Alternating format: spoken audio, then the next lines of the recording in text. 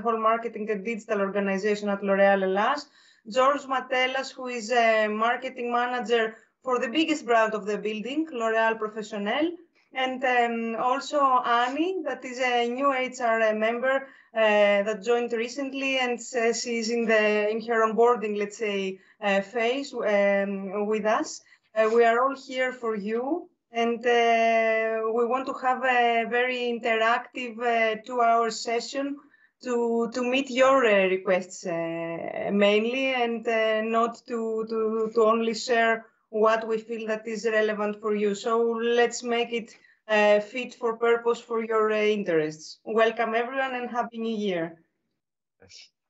Thank you. Thank you. Um, uh, Mrs. Joka will, will want to say something or do you want me to make an introduction for our students? Whatever uh, you want. I, I, was planning on introducing myself properly at the moment of my presentation, ah. but I can do it right now even. okay. So just briefly, I'm Konstantina. Should I speak in Greek or? Go, go, go ahead in Greek, Matteo. I think so, I think so. okay. Ε, οπότε, ε, μια χαρά, ελληνικά. Ε, καλησπέρα σε όλους, καλή χρονιά. Χαίρομαι πάρα πάρα πάρα πολύ που είμαι εδώ μαζί σας σήμερα. Ε, ελπίζω να σας κρατήσουμε το ενδιαφέρον, γιατί όπως είπαμε είναι 6 ώρα και φαντάζομαι ότι είστε λίγο κουρασμένοι. Εγώ είμαι η Κωνσταντίνα Ιτζόκα, λοιπόν, είμαι Chief Marketing Officer για τη L'Oréal Ελλάδος, υπεύθυνη για την στρατηγική της εταιρείας στο marketing και το digital και θα πούμε πολύ ωραία ενδιαφέροντα πράγματα στη συνέχεια μαζί. Τέλεια, τέλεια. Τέλεια. Um, thank you all for, for coming to our premises in a way because we are inviting you and thank you for your time and your effort. It's an honor and it's a great pleasure to have you all here. Uh, as for the students, um, they can turn on their cameras if they want to uh, uh, see uh, with their cameras on. They can turn on their microphones if they want to ask something as we are discussing. Um, it's going to be a great experience for all of us. I've worked with uh, L'Oreal 15 years ago, and uh, it's it's one of the great companies which I would consider as a school besides a company. It's a school for everyone that deals with the company, and especially uh, if our students are uh, available and, and they are willing to uh, get involved with some of the activities that we will be discussing, it will be an opportunity for them as well to. Uh, so I welcome you all. Uh, Alex, I, uh, you have the, the, the first talk, so thank you. Great. Yanis, thank you for those kind words. And thanks, thanks everyone for the invitation. Thanks for your time.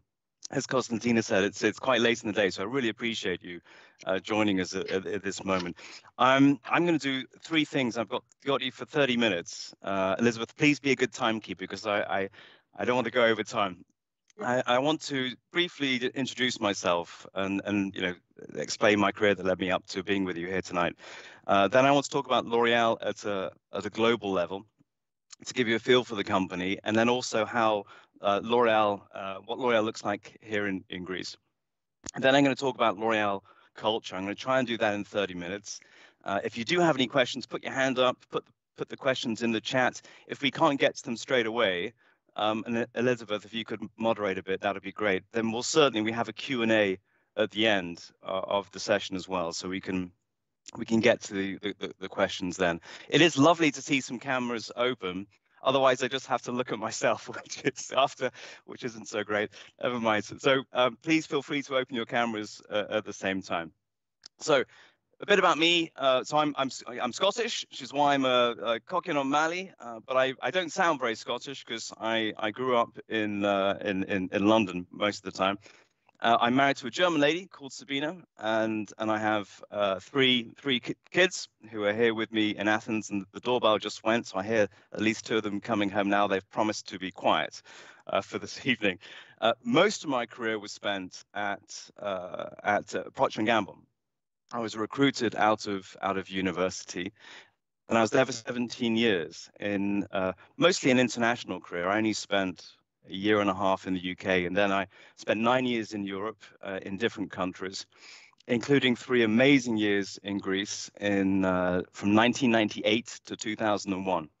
So before probably many of you were born, but it was an amazing time. I saw the arrival of, of the, the, the Euro, the tram, uh, the build up to the Olympics. It was the three incredible years that started a, a, lasting love affair with this country that now I share with, with, with my family. So it was nine years in Europe.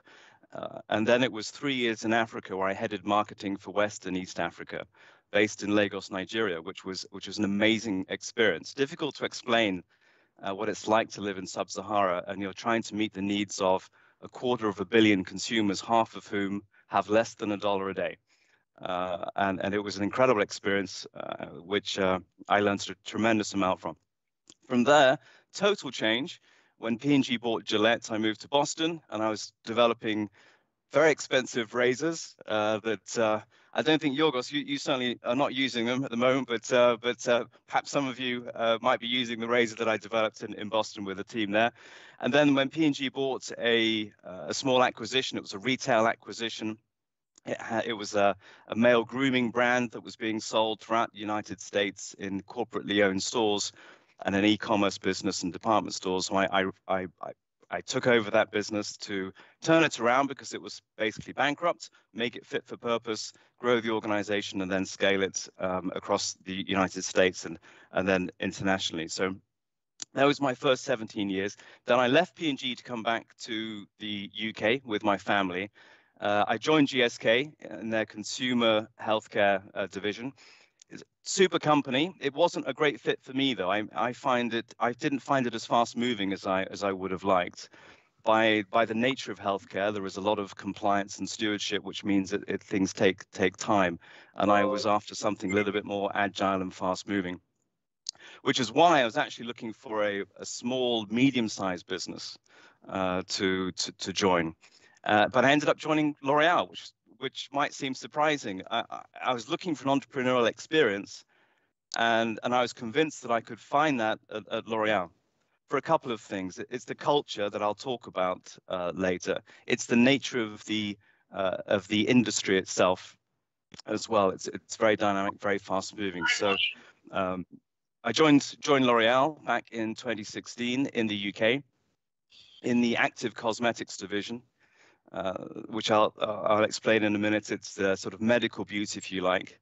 And that particular part of the business in the UK, it um, it wasn't as big as it should have been because the the uh, the distribution to market wasn't wasn't very strong. So the, the mission there was how to explode the business really through a tremendous drive online and through a digitalization of the full marketing mix, which which we in the team did in that time. We more than doubled the business, and since I left, They've more than doubled it again, despite the whole pandemic, and now it's a 130 million uh, pound business uh, in in the UK.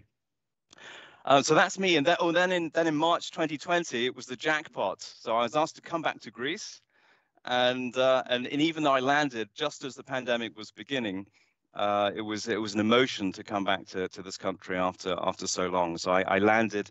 Uh, my first day in the office was March 2020, and uh, that day, actually, everyone in the office, well, there was no one in the office. People were practicing working from home for the very first time.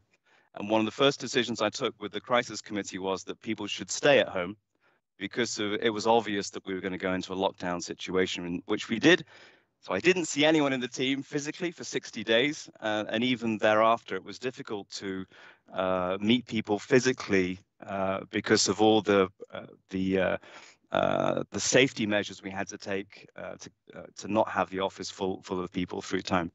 So I have uh, tremendous empathy for everyone on this call, uh, all the students who have been through these two years of not being able to physically be, be present and, and build relationships in the way that we would always want to in, in life. So that really brought me to, to, to the present day a bit about me, but I, I, what I'd like to do now is to is to talk about a bit about L'Oreal, to introduce uh, L'Oreal really at, at a global level. And Alex, then, yes, Elizabeth. you allow me, sorry to interrupt before uh, uh, joining the second part of uh, your presentation, because I see that the group is constantly increasing as you speak. Just to give some um, directions to the new people that coming. We start with 50 people and now we have 95. So one minute for me, please. Παρακαλώ πολύ, προσπαθούμε να κάνουμε το, το session πάρα πολύ διαδραστικό για εσάς. Οπότε όσοι από εσάς το επιθυμείτε, όπως και να είστε στο σπίτι σας, ειλικρινά, ε, θα χαρούμε πολύ αν έχετε ανοιχτές τις κάμερες, χωρίς να είναι υποχρεωτικό. Τα έχουμε μάθει απ' έξω, ακριβώς για να μην έχουμε slides και να πιάνουν την οθόνη, για να μπορούμε να βλέπουμε εσάς σαν να ήμασταν στο πανεπιστήμιο. Οπότε όσοι ήρθατε τώρα και θέλετε να σας βλέπουμε, με μεγάλη χαρά να κάνουμε interact και εννοείται μπορείτε και να διακόπτετε. Ευχαριστούμε πάρα πολύ. Sorry, Alex, you can go on. No worries. Thank you for that. By the way, am I speaking too fast? Because I'm I'm conscious of time. If, if I'm going too fast, just tell me to slow down. Alex, don't be conscious of time. I think it's fine the pace to speak. Yeah, we, we, we, are fine. We have All time. Right. We have time. So don't. Actually, Alex, uh, our our uh, uh, graduate courses, our master courses, because we are in the Master of Economic and Business Strategy, uh, take place from six to nine every day. So we are fine. Don't worry. We're okay, not. Uh... okay. That's a long day. well done. Okay. All right. Let me let me talk to you a bit about about L'Oreal globally. The company was founded, you know, over 110 years ago in 1909. Uh, it was a, a, a, French chemist called Eugene Schuller who he invented a, a new kind of hair dye that was efficacious, but also had a great safety profile as well. So he, he began to manufacture it and very entrepreneurially began to sell it around the salons uh, in, in, in Paris. And, and that began the L'Oreal company. And, and, and those traits of entrepreneurialism and innovation, they're still very much part of uh, the L'Oreal culture, as, as you'll, you'll hear as I, as I go on. Uh, the, what's also interesting is there are still major family shareholdings in L'Oreal, and you do feel that uh, there's a, a, family vibe, a little bit of a family vibe in, in L'Oreal.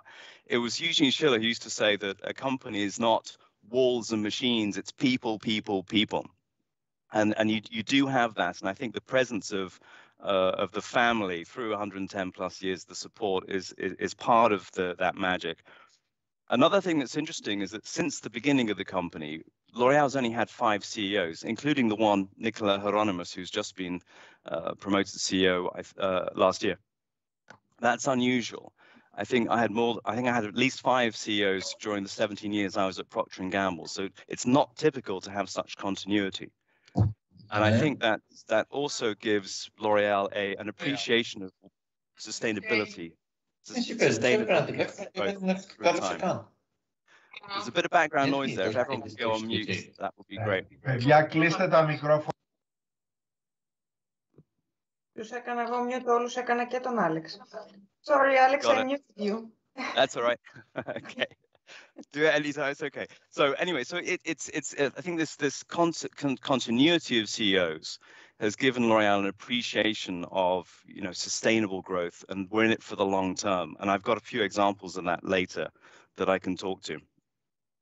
So uh, in terms of numbers, yes, we're in the beauty industry. We're the number one beauty company in the world, 28 uh, billion uh, euros last year, a market capitalization of about 200 billion, which puts us as, as a top 50 company uh, globally. 85,000 employees uh, with 167 nationalities um, uh, across the world, um, and 149 different métiers.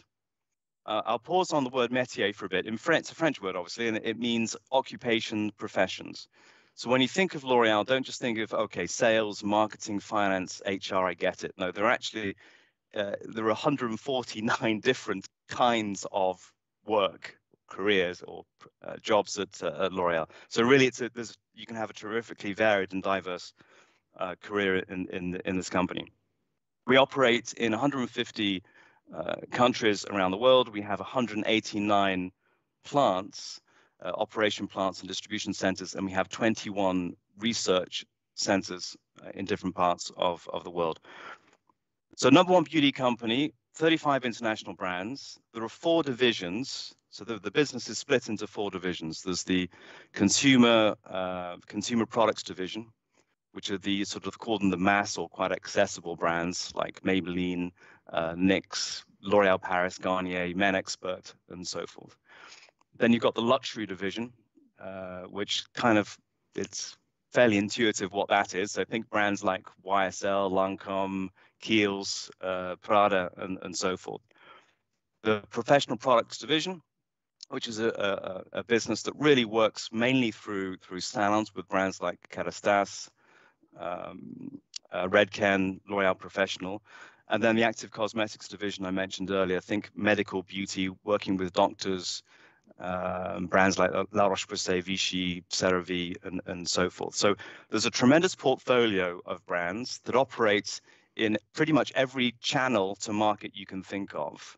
Um, and this, this breadth uh, of the portfolio gives the company quite a lot of stability uh, through through time because uh, it's uh, uh, it's spread betting if you if you want to, to think of it in that way. Now, beyond beyond the the business performance, L'Oreal has always believed strongly in extra financial performance as well. Um, it is a company that is known very strongly for its ethics, and I'll explain what I mean by that in a bit. But externally, that's been recognized by um, a body called Ethisphere, a non non for profit organization uh, that that recognizes uh, ethical behavior in companies, and we've been recognized 12 years in a row, which I think is a record. Um, in in another areas, very important is sustainability. And the company's had uh, a long-standing commitments to sustainability through time and has landed some big, uh, big achievements through time as well. For example, half of our production plants are already carbon neutral, on the way to all of them being carbon neutral by 2025. Um, our CO2 emissions have dropped over 80%, uh, even as our business has gone uh, has grown 20% since uh, in in the last uh, since 2005. And last year, we we we embarked on a new journey called L'Oreal for the Future, which is as a totally new way of thinking about sustainability targets for the future. And it builds off this concept of uh, planetary boundaries that some of you may have heard of. The planetary boundaries is really this idea that we need to live within the means of the planet. And there are four, there are nine in total, but there are four that are of relevance to L'Oreal, uh, climate, water, biodiversity, and resources. And in each of those four areas, uh, the company's made um, big commitments to uh, live within the, the planetary boundaries that uh, that we have to uh, to to frankly survive as a species, right? So it's fairly fundamental uh, to us all. These are these are commitments like, uh, as I, I, mentioned, CO2. All of our all of our sites will be carbon neutral by 2025. All of our packaging will be uh, sourced re either recyclably or from bio-based uh, sources by 2030, half of the packaging by 2025. Um, by 2030, 100% of the water that we use is going to be used in, in a cycle loop as well. I, I, could go on. For those of you who are interested, if you, you can go online uh, under the L'Oreal website and there's a full list of, of the commitments that we make. All of those commitments are, uh, they, they're cascaded. So whatever you read on that global site, we've signed up to, and we are delivering uh, here in, in Greece as well. And it's not a case of, oh, we're going to do nothing until 2024, then we're going to totally smash it all until 2029. No, we've already started. And I'm pleased to say we've in Greece, we're, we're making very strong progress. Uh, for example, 97% of all the displays we put into the trade last year were eco-designed. Uh, well, our distribution center is already carbon neutral, and we've got solar panels going on the roof of our office in the next couple of weeks, so we'll be fully carbon neutral as well. So it's something that we take very seriously in Greece, um, but it's it's uh, taken seriously equally so at a, at a, global level.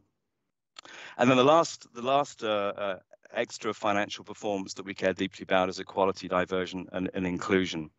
And, and, and there again, there's been uh, a long-standing commitments at a total company level uh, to make a difference. So, for example, uh, for 25 years, we've been promoting uh, women in science uh, with grants um, and helping uh, helping that community network. Again, we've been leading that in Greece since 2009.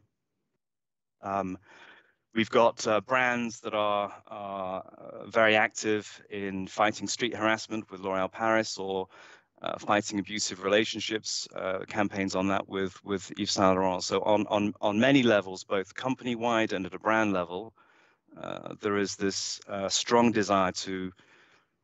May sound cliche, but to use beauty as, as, a, as a force for good to make a positive impact uh, on on the communities in which we operate.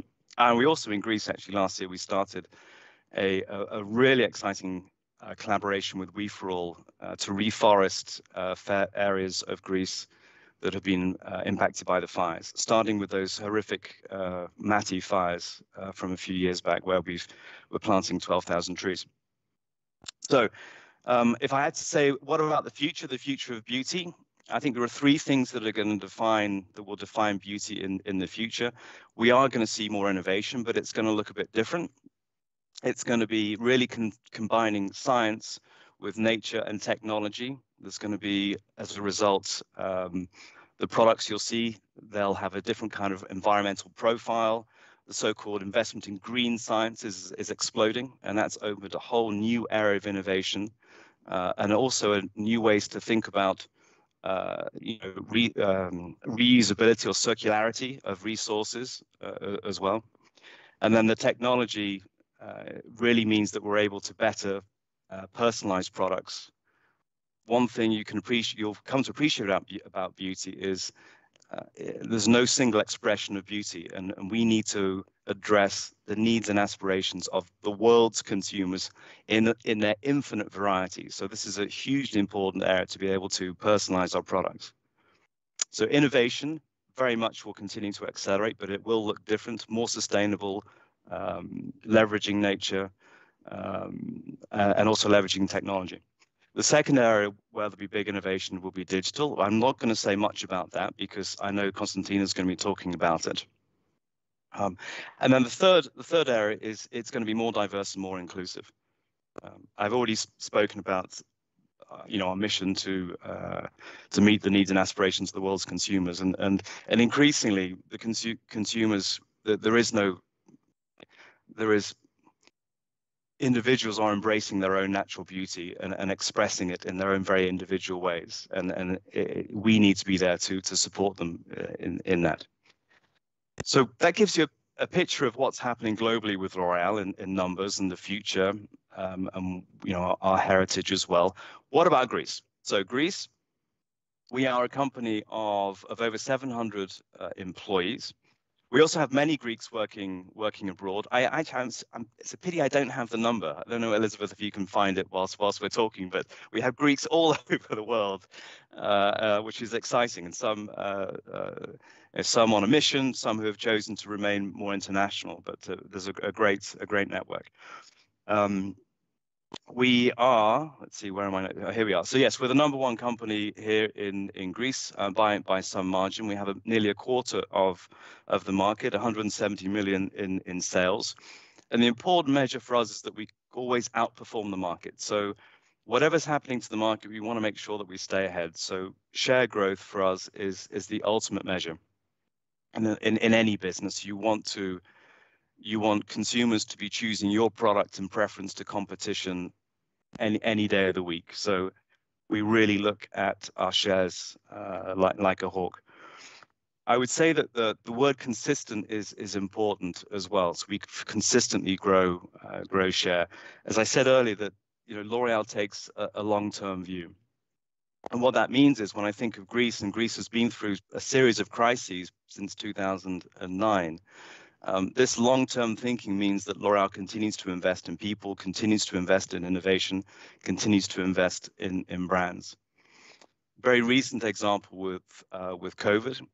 Uh, it was a very difficult 2020, um, but we kept investing in people, we kept investing in, in the brands, and as a result, uh, we were able to uh, help the market uh, recover as maximum as possible in 2021 and and we emerged stronger as well uh, as a company because of that. And so we've been able to in 2020, 2021 get back more than than COVID uh, cost us in in 2020, which is a terrific achievement by by the team.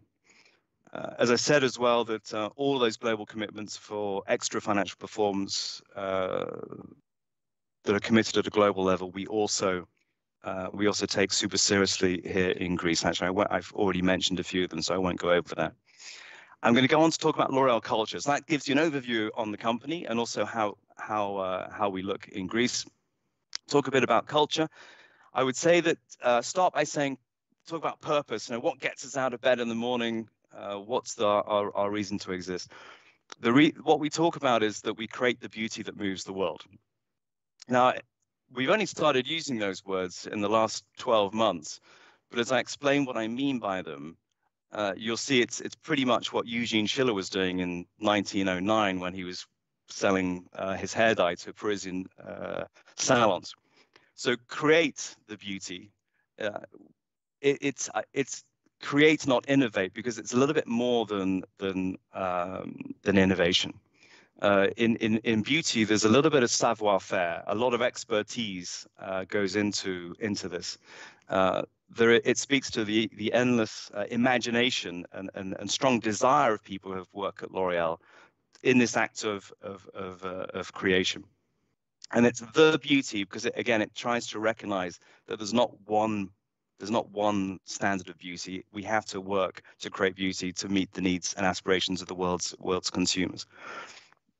Moves is it operates on a few levels. So moves when something's moving, it's progress, it's it's pushing forward. So we do see beauty as a, as a force for good, but it it also speaks to beauty at, a, at an emotional level, because the beauty uh, beauty does give individuals uh, a sense of well-being it, uh, it, it supports self-confidence.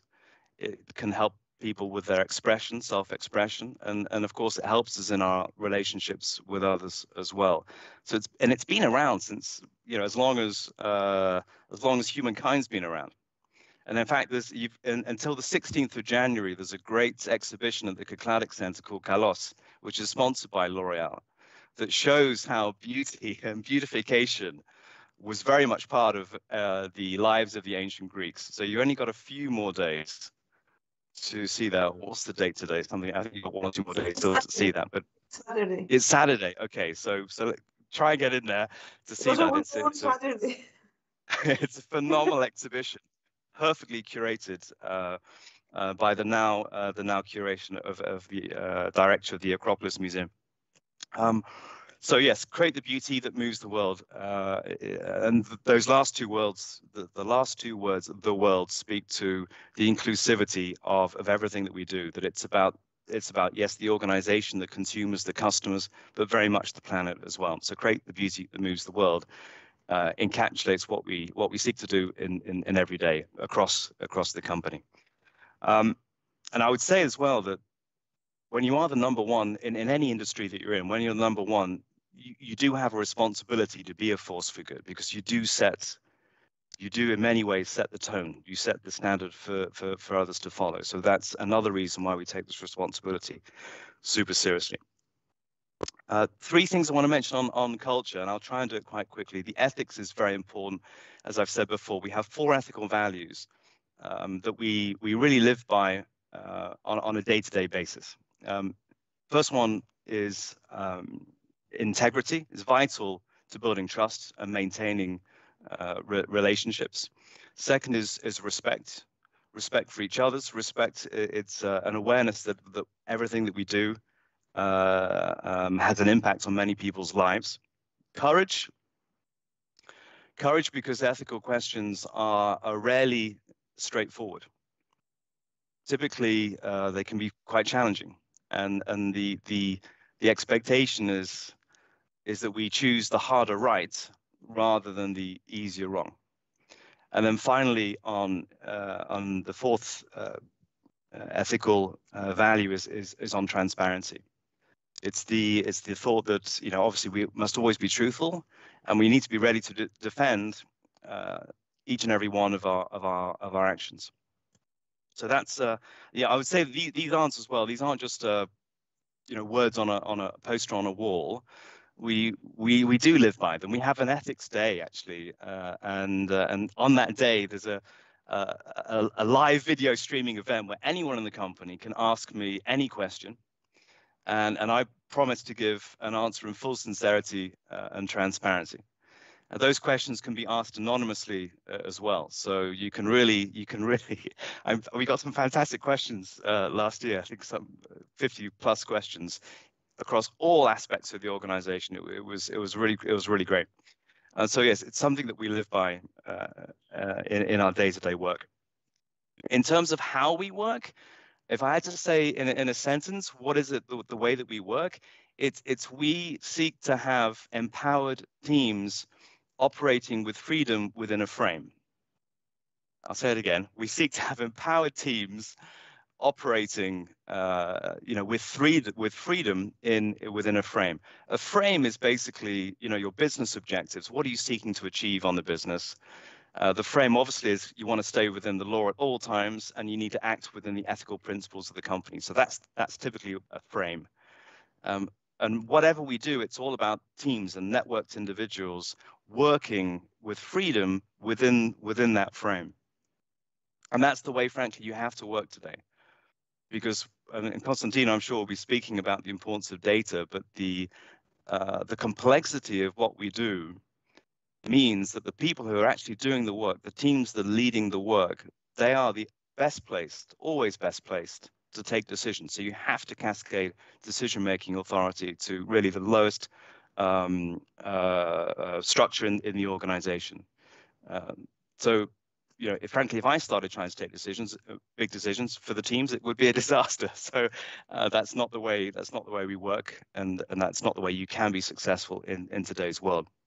So a couple of measures. We, we have an annual survey on amongst our employees, and, and we do ask them questions like, you know, do you feel that you're trusted to take decisions at your level?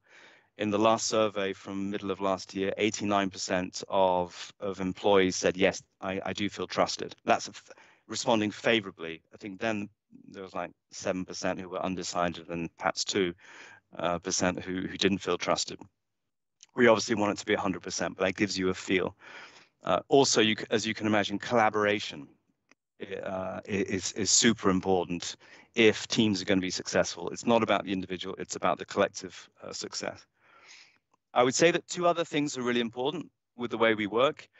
Um, and I, you know, these would be this these would be important in pretty much every business as well. I would imagine. It's uh, it's and it helps foster innovation. So the first thing is um, you you you can't wait for perfection. You know, good enough. You know, you, you need you need to keep moving, particularly with the the, the pace of accelerating change. Uh, so this this this idea of testing and learning rather than waiting for perfection is something that is is culturally extremely important, and we need to make sure that we nurture that. And related to it is this idea that it's okay to make a mistake as long as we learn from it.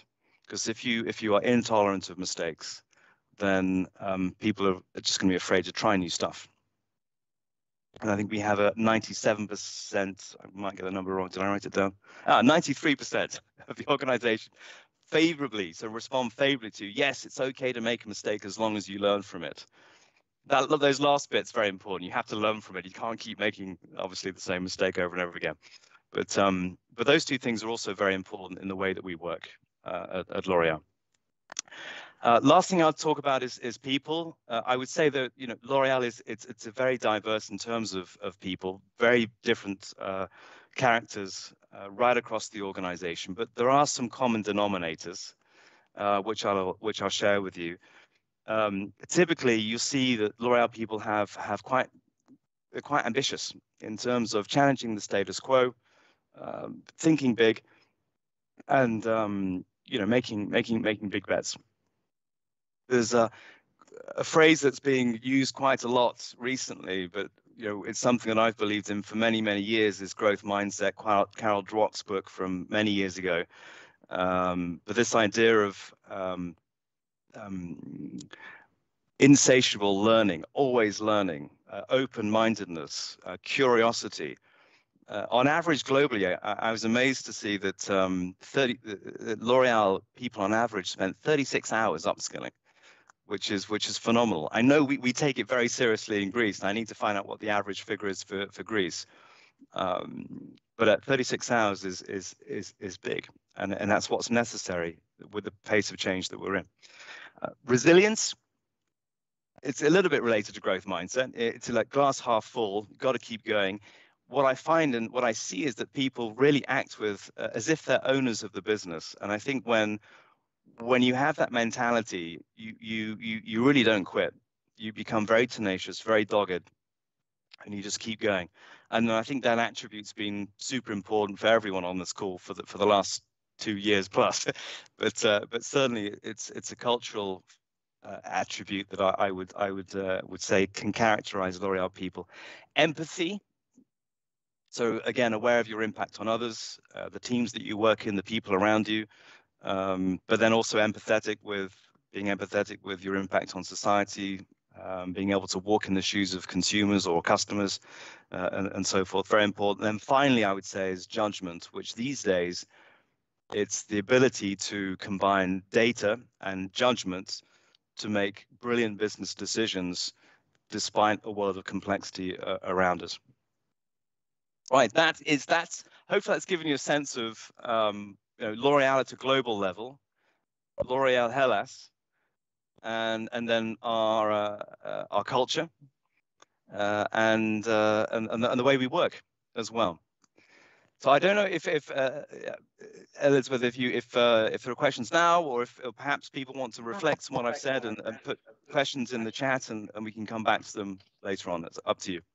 Thank you for asking, Alex, and thank you for your uh, presentation. Uh, I propose, in order to make it more uh, interactive, to take two, three questions now. Please open up your mics, your cameras. Let me, uh, Elizabeth, can I, can I make a comment before we open it to questions?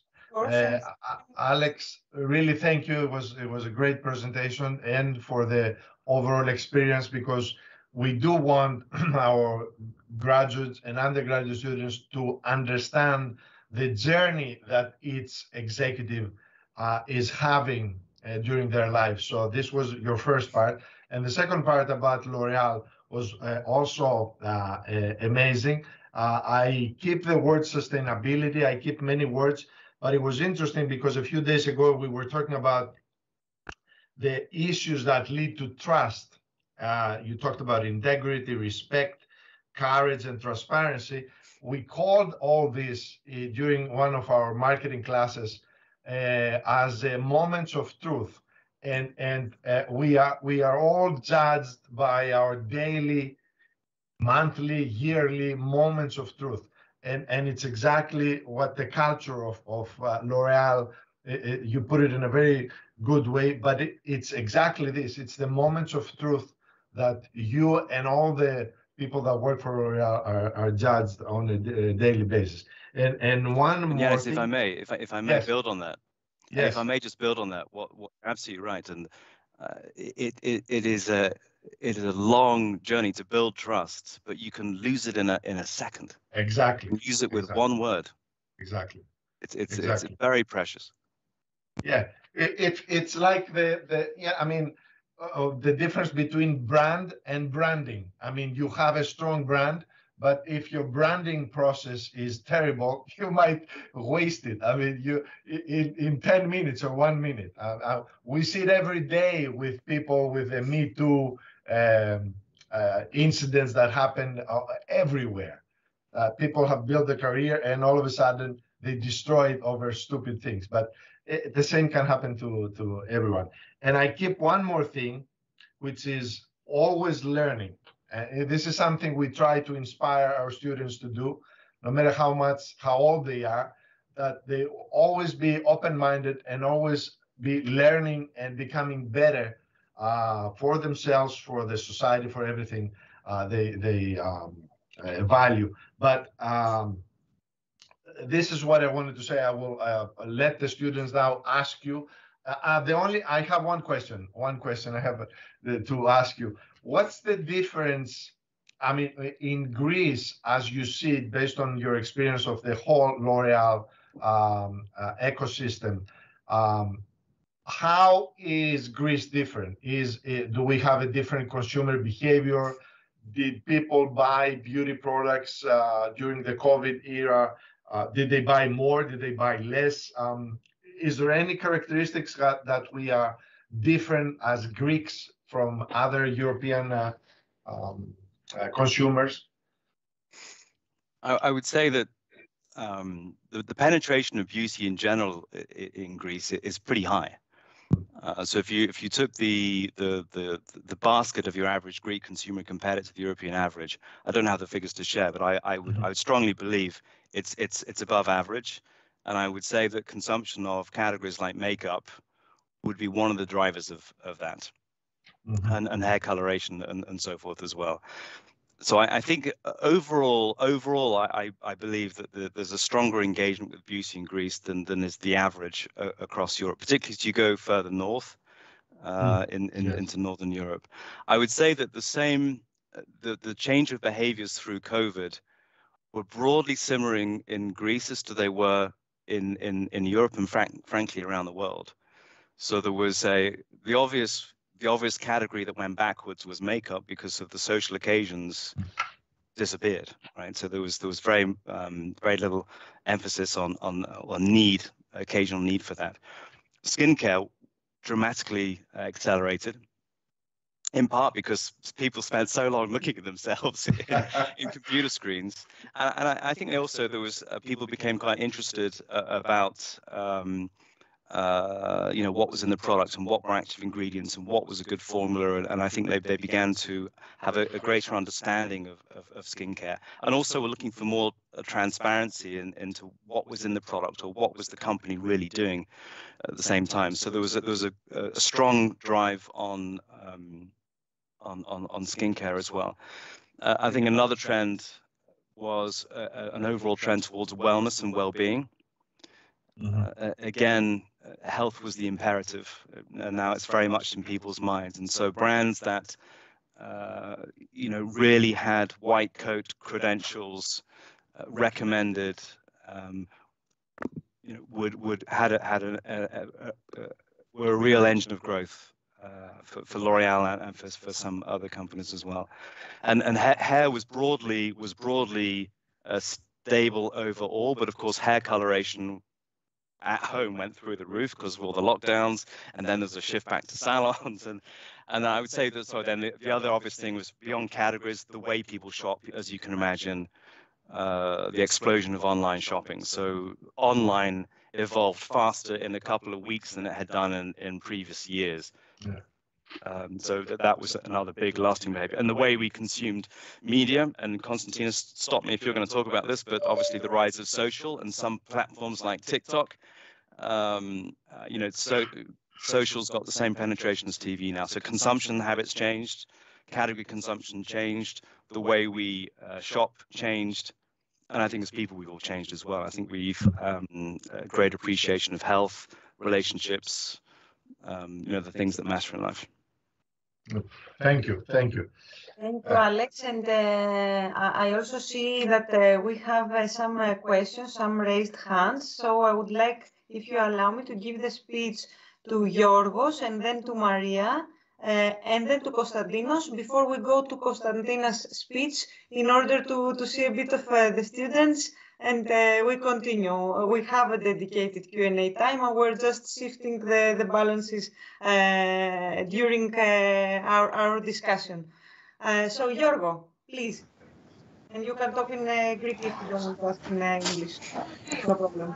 Uh, can you hear me? Yeah, I can hear you. Αλλά τώρα δεν σε βλέπουμε. Πριν σε βλέπαμε κιόλας. Ε, Γιώργο, άνοιξε την κάμερα και ε, μπορείς να μιλήσεις ακόμα μια χαρά. Hi there. You're muted, but I can see you. Ναι, σε κάνω... Α, δεν μπορώ να σε κάνω ακόμα mute. Α, έγινες μόνος σου, τέλειο. Alright, alright. Uh, so, regarding all of this about the COVID, so would you say then that COVID has, in a way, actually helped with the production uh, with other and overall with the way the company has evolved? I, I think that from a from a pure business standpoint, beauty, like many markets, went backwards in 2020. Not least because so much of uh, the retail landscape was closed, uh, plus the other factors that I mentioned.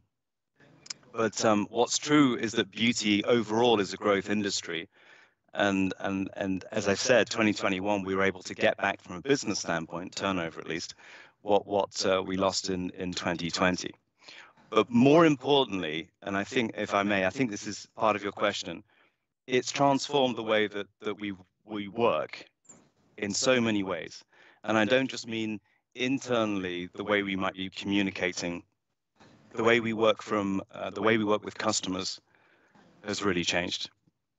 Digital, the digitalization of meetings, the digitalization of how, you know, when we visit doctors um, or, or, or, customers, the, the way we uh, educate uh, stylists in salons or or pharmacists in pharmacies can, has gone all uh, online. Um, and I can there will be many many examples uh, as to how we've basically modernized uh, the, the, way that we work. We're able to achieve a lot more um, uh, than we ever were able to before. So in that sense, the organizations come out a lot stronger uh, as a result of COVID. But the, the actual COVID itself had a big negative impact on the business that we've now recovered from. Does that answer your question, Hugo? Yes, yes, it does. Thank you very much.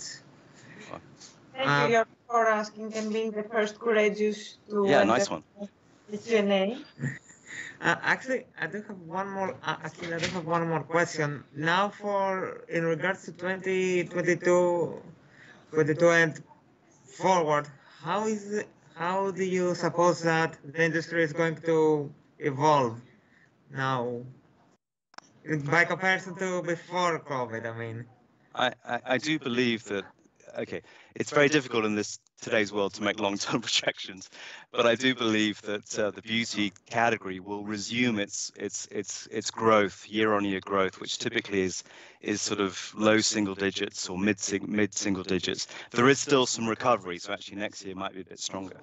And and as always, uh, L'Oreal would want to exceed the market, so beat the market. So we we should be looking at, at higher than higher than that going forward. Okay, thank you very much. And happy, by the way, happy new year. I know yes, καλή χρονιά. Ευχαριστούμε πάρα πολύ Γιώργο και λέω να κάνω το moderation έτσι όπως βλέπω τα χεράκια με τη σειρά, αν μου επιτρέπετε. Οπότε επόμενη βλέπω την κυρία Μεταξούδη Μαρία. Μαρία, πού είσαι? I'm here. Firstly, I would like to thank you for your time and this amazing uh, presentation. Now, In my mind, if I'm correct, even global companies have a common strategy that every country follow in some rate. I'm really cu uh, curious how the pandemic has affected the development of this strategy, given the fact that every country has not taken the same measures at the same time.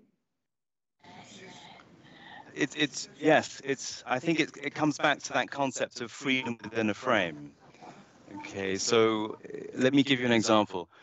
The you know, globally, there's been a declared ambition to get to 50% of net sales uh, online by, I think, 2025 or something like that, or maybe it's a bit later, Constantina. But every country uh, has different challenges and opportunities to deliver that. Um, and so we need, we, we, we have a, a an ambition to accelerate uh, digitally and accelerate online. But um, how we do that, who we partner with locally, um, and, and, and which levers we pull to, to, to deliver that acceleration very much as a local as a local choice. Um, in, in, in I can take another area. Um, I mean, overall, the uh, let's see overall, there is a uh, an ambition to accelerate on on skincare, for example. Uh, that looks different in, in Greece because we have highly developed uh, brands within, for example, the active cosmetics division, like La Roche-Posay and Vichy. So we, we take the overall idea of how, you know, let's accelerate skincare, but the way we leverage the portfolio to deliver that is different in Greece to, for example, Germany. Uh, and then even after you've made those portfolio choices, the way we go to market is different. So, um, you know, me media, for example, TV media is relatively inexpensive in Greece versus other countries. So we can have a different a different marketing mix to some to some uh, other countries. The the nature of the pharmacy channel in Greece is is very distinctive. Uh, we have 7,000 pharmacies, I think, in Greece. So that that provides a unique opportunity here. So uh, it, hopefully, I could probably think of more examples with in time, but you have an overall global frame, and then each country has its its its peculiarities, and you you you need to work within that to maximize the business may, opportunity. Um, if I may, Alex, just for a Yeah. second, when we move on and I will share with you the digital strategy of L'Oreal, you will see how broad and you know top line it is, so that you will understand that gives room and space for the countries to adopt uh, based on their uh, competencies, their their environment, their status, whatever. So you will see and understand what is global strategy for L'Oreal and how free it is for the country to you know to deploy. Thank you I very think it will help. Yeah, I also want to complement this question. so, Maria, congrats for the question. It was a very interesting one. Uh, I, I switch in Greek. Ε, αυτό που θέλω να πω είναι ότι η L'Oreal σε σχέση με άλλες πολυεθνικές εταιρείες αυτό που την διαφοροποιεί πολύ και το λέω και έχοντας και δουλέψει σε άλλες πολυεθνικές εταιρείες πριν από τη L'Oreal ε, είναι ότι είναι πολύ αποκεντρωμένη η διοίκηση. Δηλαδή έχει μια πολύ ενδυναμωμένη διοίκηση στη χώρα που το group σου λέει ότι τελικά εσύ αποφασίζεις και είναι εκεί ναι για να σε κατευθύνει, ναι για να σου δώσει μια στρατηγική ματιά. Και αν μπορώ να πω ένα παράδειγμα από το HR ορμόμενοι, ας πούμε όταν έκλεισαν όλα τα retail μαγαζιά και είχαμε 300 εργαζομένους που μπορούσαν να πάρουν το επίδομα της κυβέρνησης, εμείς δεν το πήραμε. Γιατί η δική μας διοίκηση αποφάσισε ότι εφόσον η L'Oreal έχει μια καλή χρηματοοικονομική βάση, δεν είναι σωστό σε μια χώρα που βάλετε από πανδημία να, να βάλει τους εργαζομένους σε αναστολή για να πάρει αυτά τα χρήματα το μήνα. Και είχαμε 300 εργαζομένους με κλειστά καταστήματα που τους εκπαιδεύαμε από το πρωί μέχρι το βράδυ για να μην αισθάνονται και άσχημα ότι μ, δεν είναι παραγωγική για την εταιρεία. Απλά κάνανε το κομμάτι της εκπαίδευσής τους πολύ νωρίτερα μέσα στη χρονιά μ, μέχρι το καλοκαίρι που ξανά άνοιξαν τα καταστήματα. Νομίζω έχουν εκπαιδευτεί για την επόμενη πενταετία. Αυτό δεν έγινε σε όλες τις χώρες της L'Oreal απαραίτητα, χωρίς να ξέρω πού έγινε και πού δεν έγινε. Αλλά ήταν μια πολύ έτσι, τοπική, τοπική απόφαση. Οπότε όλες οι στρατηγικές αποφάσεις βαλιντάρονται από την ε, τοπική διοίκηση της εταιρείας. Ε, αυτό ήθελα να πω. Βλέπω... Can I, can I make one- can I make one build Yeah. to, to Yes, Maria's question? I, I should have mentioned that. Um, so, so Greece, uh, uh, L'Oreal Hellas is a standalone entity. We pay our taxes here. It means that um, we we are business owners we own the full P and L. So we can make decisions locally that uh, if we were in a different company and we I know we put all- put all of our profits through Switzerland and didn't pay taxes here, we we wouldn't have that flexibility. But uh, that that independence is is uh, is extremely important because then you, you really do have freedom within the full frames. You can pull all the levers of business to to deliver your goals. Thank you very much. You're welcome, Maria. And uh, I will go to Konstantinos and Elpiniki's questions, and then we can start with Konstantina's part to give her the 30 minutes we have planned, and again questions, and then George. So, um, ε, Κωνσταντίνος και Ελπινίκη. Ανδρέα, τώρα μπήκε τώρα. Θα ρωτήσεις μετά από την Κωνσταντίνα. Εντάξει, Κωνσταντίνος και Ελπινίκη. Ευχαριστούμε. Uh, good evening. Uh, it was a pleasure to hear you, sir. The talk was extremely informative and very interesting.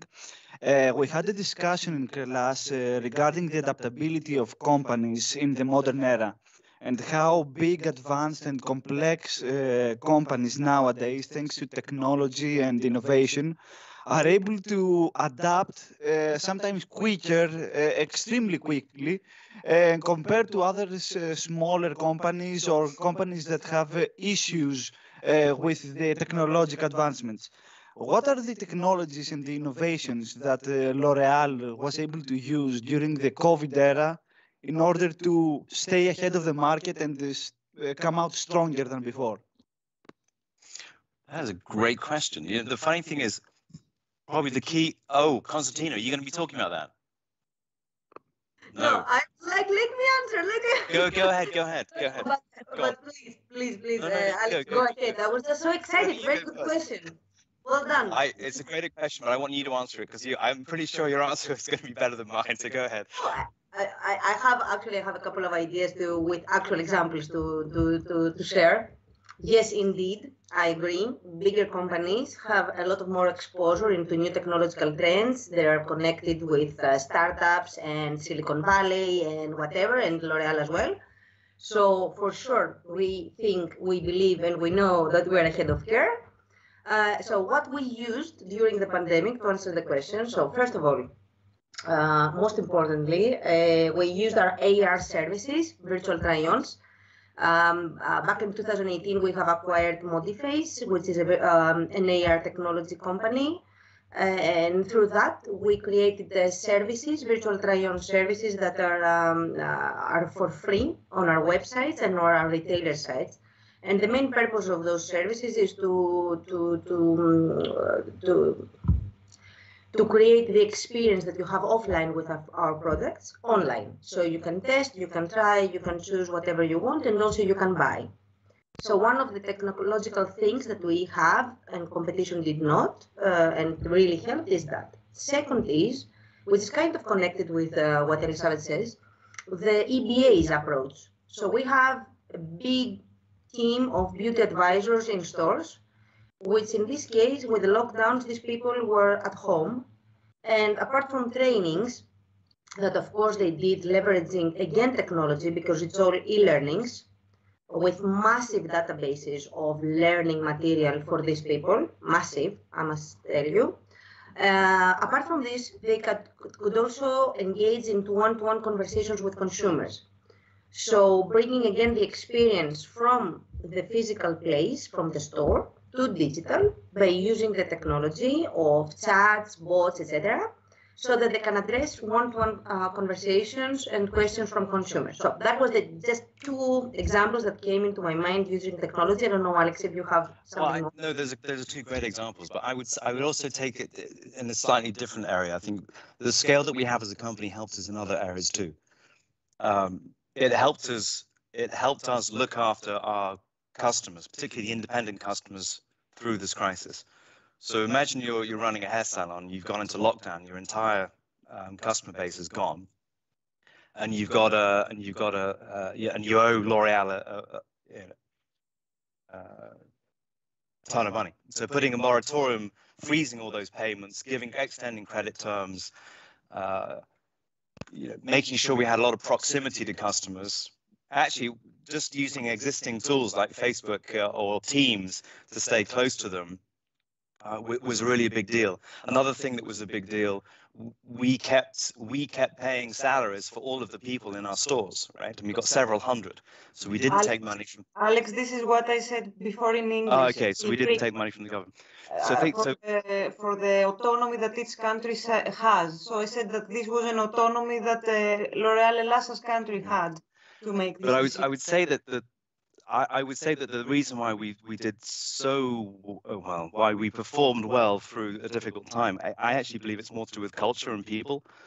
Uh, I think te- technology accelerated some of that, but the drive, you know, the continuing to invest, continuing to invest in people, the creativity, the innovation. I think it just uh, resilience, all this stuff. Uh, it, it's uh, it's a cultural thing as well that I think technology helped us amplify.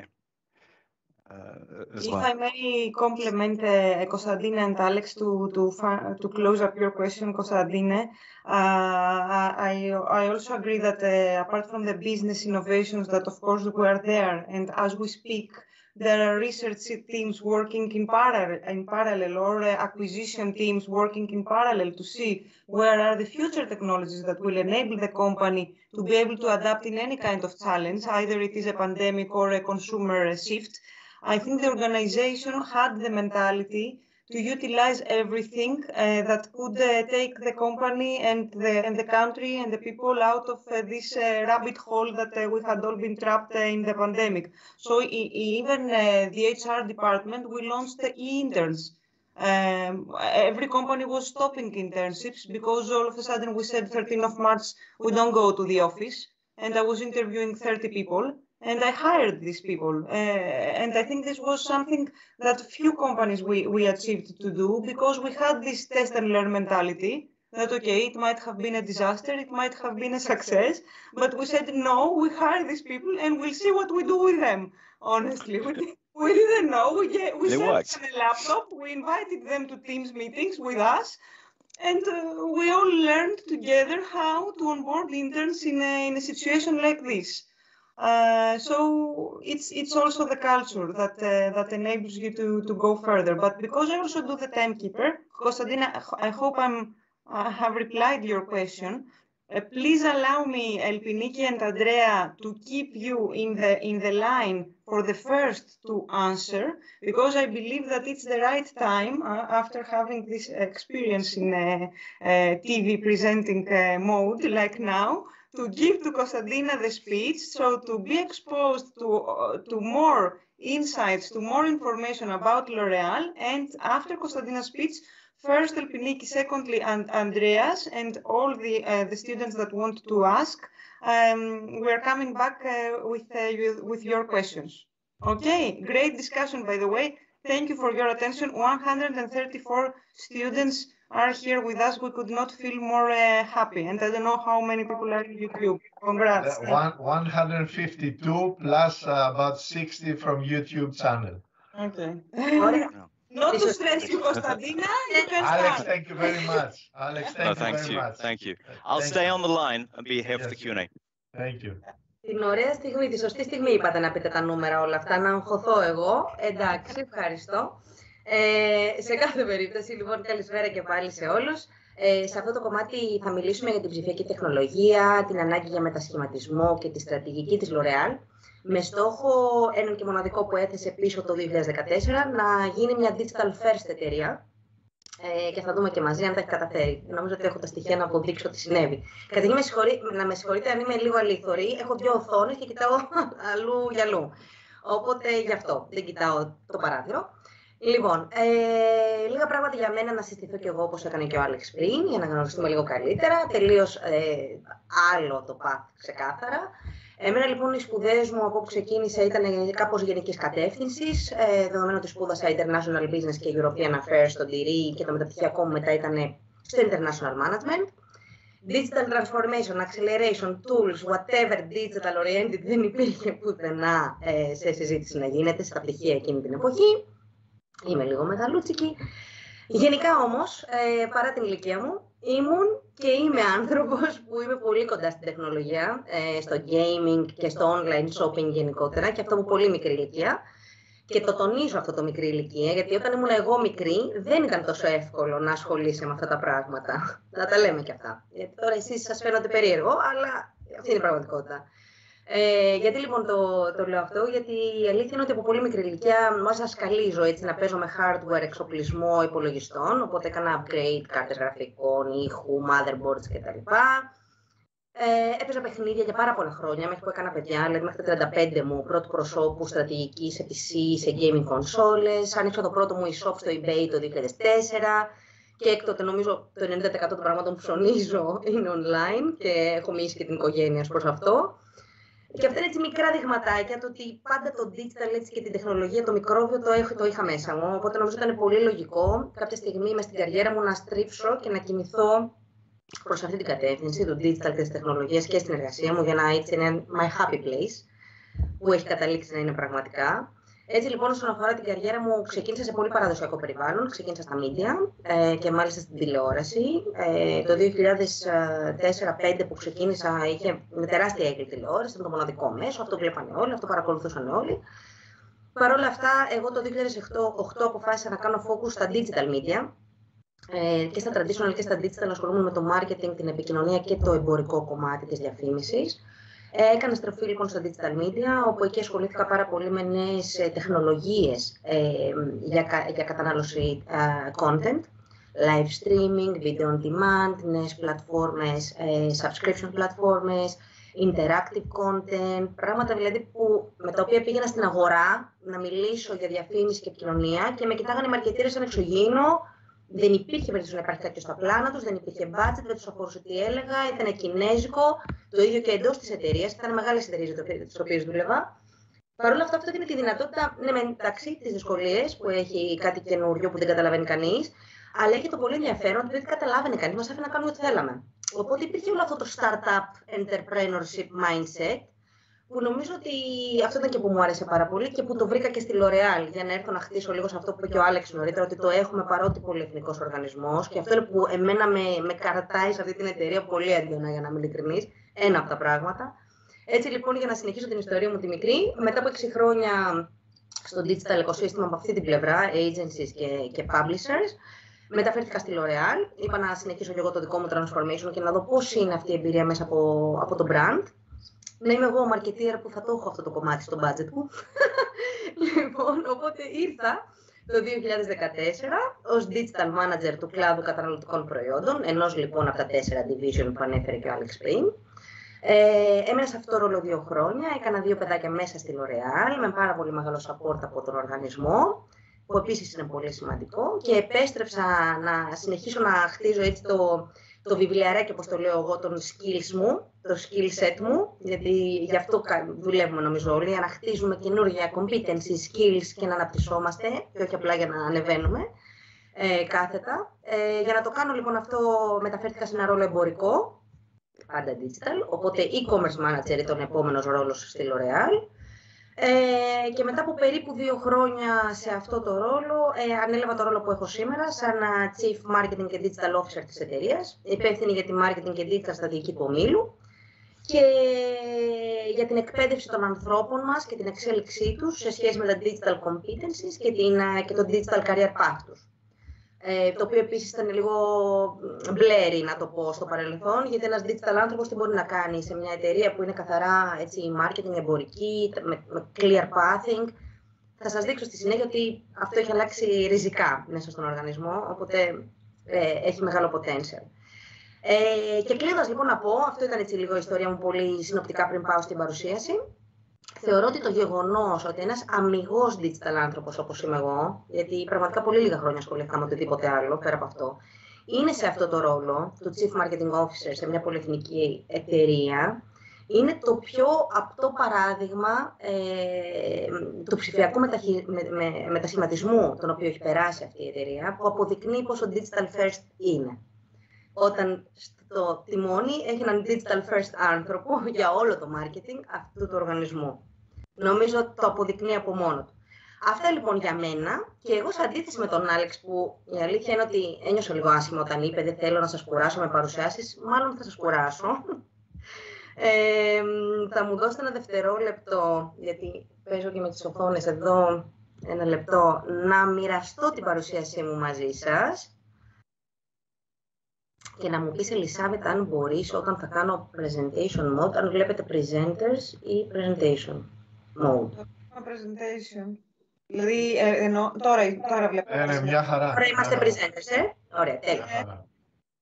Ωραία, κατεβα... Ε, δεν σας βλέπω, ούτε βλέπω στο chat, οπότε ό,τι χρειαστείτε μου λέτε να είμαι λίγο στα τυφλά. να, να σταματήσω να με ρωτήσετε τι θέλετε, δεν έχω κανένα πρόβλημα και κατά τη διάρκεια της παρουσίας. Λοιπόν, Καταρχήν να πούμε ότι ο τίτλος της, ε, της παρουσίασης σήμερα δεν είναι τυχαίος όταν λέμε Reimagine Digital Transformation γιατί θεωρούμε ότι πρέπει να κάνουμε Reimagine καταρχήν και να ξαναδούμε ένα άλλο μάτι, το μέλλον που έρχεται και άρα και το Transformation στο οποίο καλούμαστε, το οποίο καλούμαστε να κάνουμε σαν εταιρεία. Εμείς στη L'Oreal τον ψηφιακό μετασχηματισμό δεν τον ξεκινήσαμε πριν 3, 4, 5 χρόνια που άρχισε να ακούγεται πάρα πολύ έντονα. Είναι μια αποστολή δεκαετίας πλάς ε, για τη L'Oréal, με μια στρατηγική που αλλάζει και εξελίσσεται με βάση τις εξελίξεις που γίνονται στην τεχνολογία, αλλά και από τις ανάγκες των καταναλωτών. Οτιδήποτε κάνουμε σε αυτή την εταιρεία ε, βασίζεται στο, τι, στο πού βρίσκονται οι καταναλωτές και τι χρειάζονται από εμάς. Όταν οι καταναλωτές λοιπόν κινούνται στα social media, είμαστε στα social media. Όταν είναι σε καινούργια πλατφόρμα στα social media όπως είναι το TikTok, είμαστε και εμείς εκεί. Όταν οι influencers γίνονται πλέον ο πρώτος, ε, ε, ε, ο, ο πρώτος λόγος, ο πρώτος τρόπος επιρροής τους για να πάρουν αποφάσεις και όχι πια η τηλεόραση, τότε κάνουμε shift στη στρατηγική μας influencers. Αντιλαμβάνεστε τι θέλω να πω. Οπότε, ναι, εξελισσόμαστε χρόνο με το χρόνο, σαφέστατα, έχοντας τα μάτια και τα αυτιά ανοιχτά, τόσο από την πλευρά των καταναλωτών, όσο και από την πλευρά της τεχνολογίας. Σήμερα, λοιπόν, μιλάμε για ένα νέο ψηφιακό μετασχηματισμό, που και πάλι θα διαμορφωθεί με βάση τις τάσεις του μέλλοντος και σαφέστατα θα επηρεάσει τη στρατηγική μας και πάλι, αλλά και τις ομάδες και τον οργανισμό μας αντίστοιχα. Σαφέστατα χρειαζόμαστε πάντα νέα expertise, νέα competencies μέσα στην εταιρεία ε, και σαφέστατα χρειάζεται να εξελίσσουμε τους ανθρώπους που ήδη έχουμε για να μπορούν να διεκδικούν τέτοιες θέσεις που δεν είχαν ε, πιο πριν. Έτσι, δεν είναι ότι πάντα παίρνουμε ανθρώπους απ' έξω με expertise, εξελίσσουμε και τους ανθρώπους μας. Πάμε λοιπόν να ξαναφανταστούμε, να ξανασκεφτούμε, αν δεν το έχουμε κάνει ήδη, το μέλλον και πώς θα είναι με βάση κάποια τεχνολογικά trends που έχω μαζί μου να σας δείξω σήμερα. Γιατί λοιπόν μιλάμε για νέο μετασχηματισμό. Μιλάμε για νέο μετασχηματισμό γιατί είμαστε πλέον καλά σε μια δεκαετία, το 2020, που πέρα από την καταιγίδα που όλοι νιώθουμε και βιώνουμε, ε, υπάρχει μια θετική εικασία, ότι θα μπορούσαμε να μπαίνουμε σε μια νέα αναγέννηση, με καινοτομίες στην τεχνολογία που αλλάζουν τη ζωή, ε, με ευσυνείδητους καταναλωτές που ενδιαφέρονται για το sense of purpose αυτών των εταιριών και ενδιαφέρονται για τα ingredients των, ε, που έχουν αυτά τα προϊόντα και που οδηγούν στην ε, πράσινη επανάσταση με ενδιαφέρον για το περιβάλλον και για τον κόσμο μας, για, το, για την, ε, την ανακύκλωση, για τα δάση, για τα πάντα. Και γιατί ε, λέμε ότι είμαστε σε μια σωστή στιγμή να το, ε, να, να το δούμε σαν αναγέννηση αυτό που συμβαίνει, είναι γιατί είμαστε σε μια στιγμή στον χρόνο της τεχνολογικής εξέλιξης που αυτό που πήρε δεκαετίες στο παρελθόν σήμερα συμβαίνει σε χρόνια ή ακόμα και σε μήνες.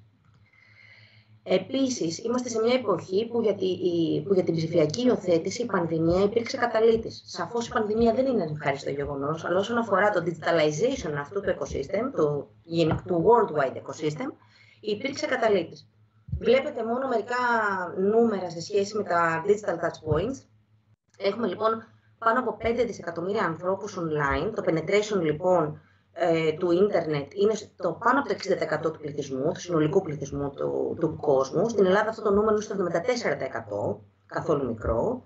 Υπάρχουν πάνω από 4 δισεκατομμύρια άτομα σε κοινωνικές πλατφόρμες σήμερα, ε, με τρισεκατομμύρια συζητήσεις μέσα σε αυτές βέβαια και κατανάλωση περιεχομένου. Πάνω από 3 δισεκατομμύρια άτομα παρακολουθούν βίντεο στο διαδίκτυο. 3 δις παίζουν παιχνίδια παγκοσμίως. Κάποτε ήμουν και εγώ ένας από αυτούς.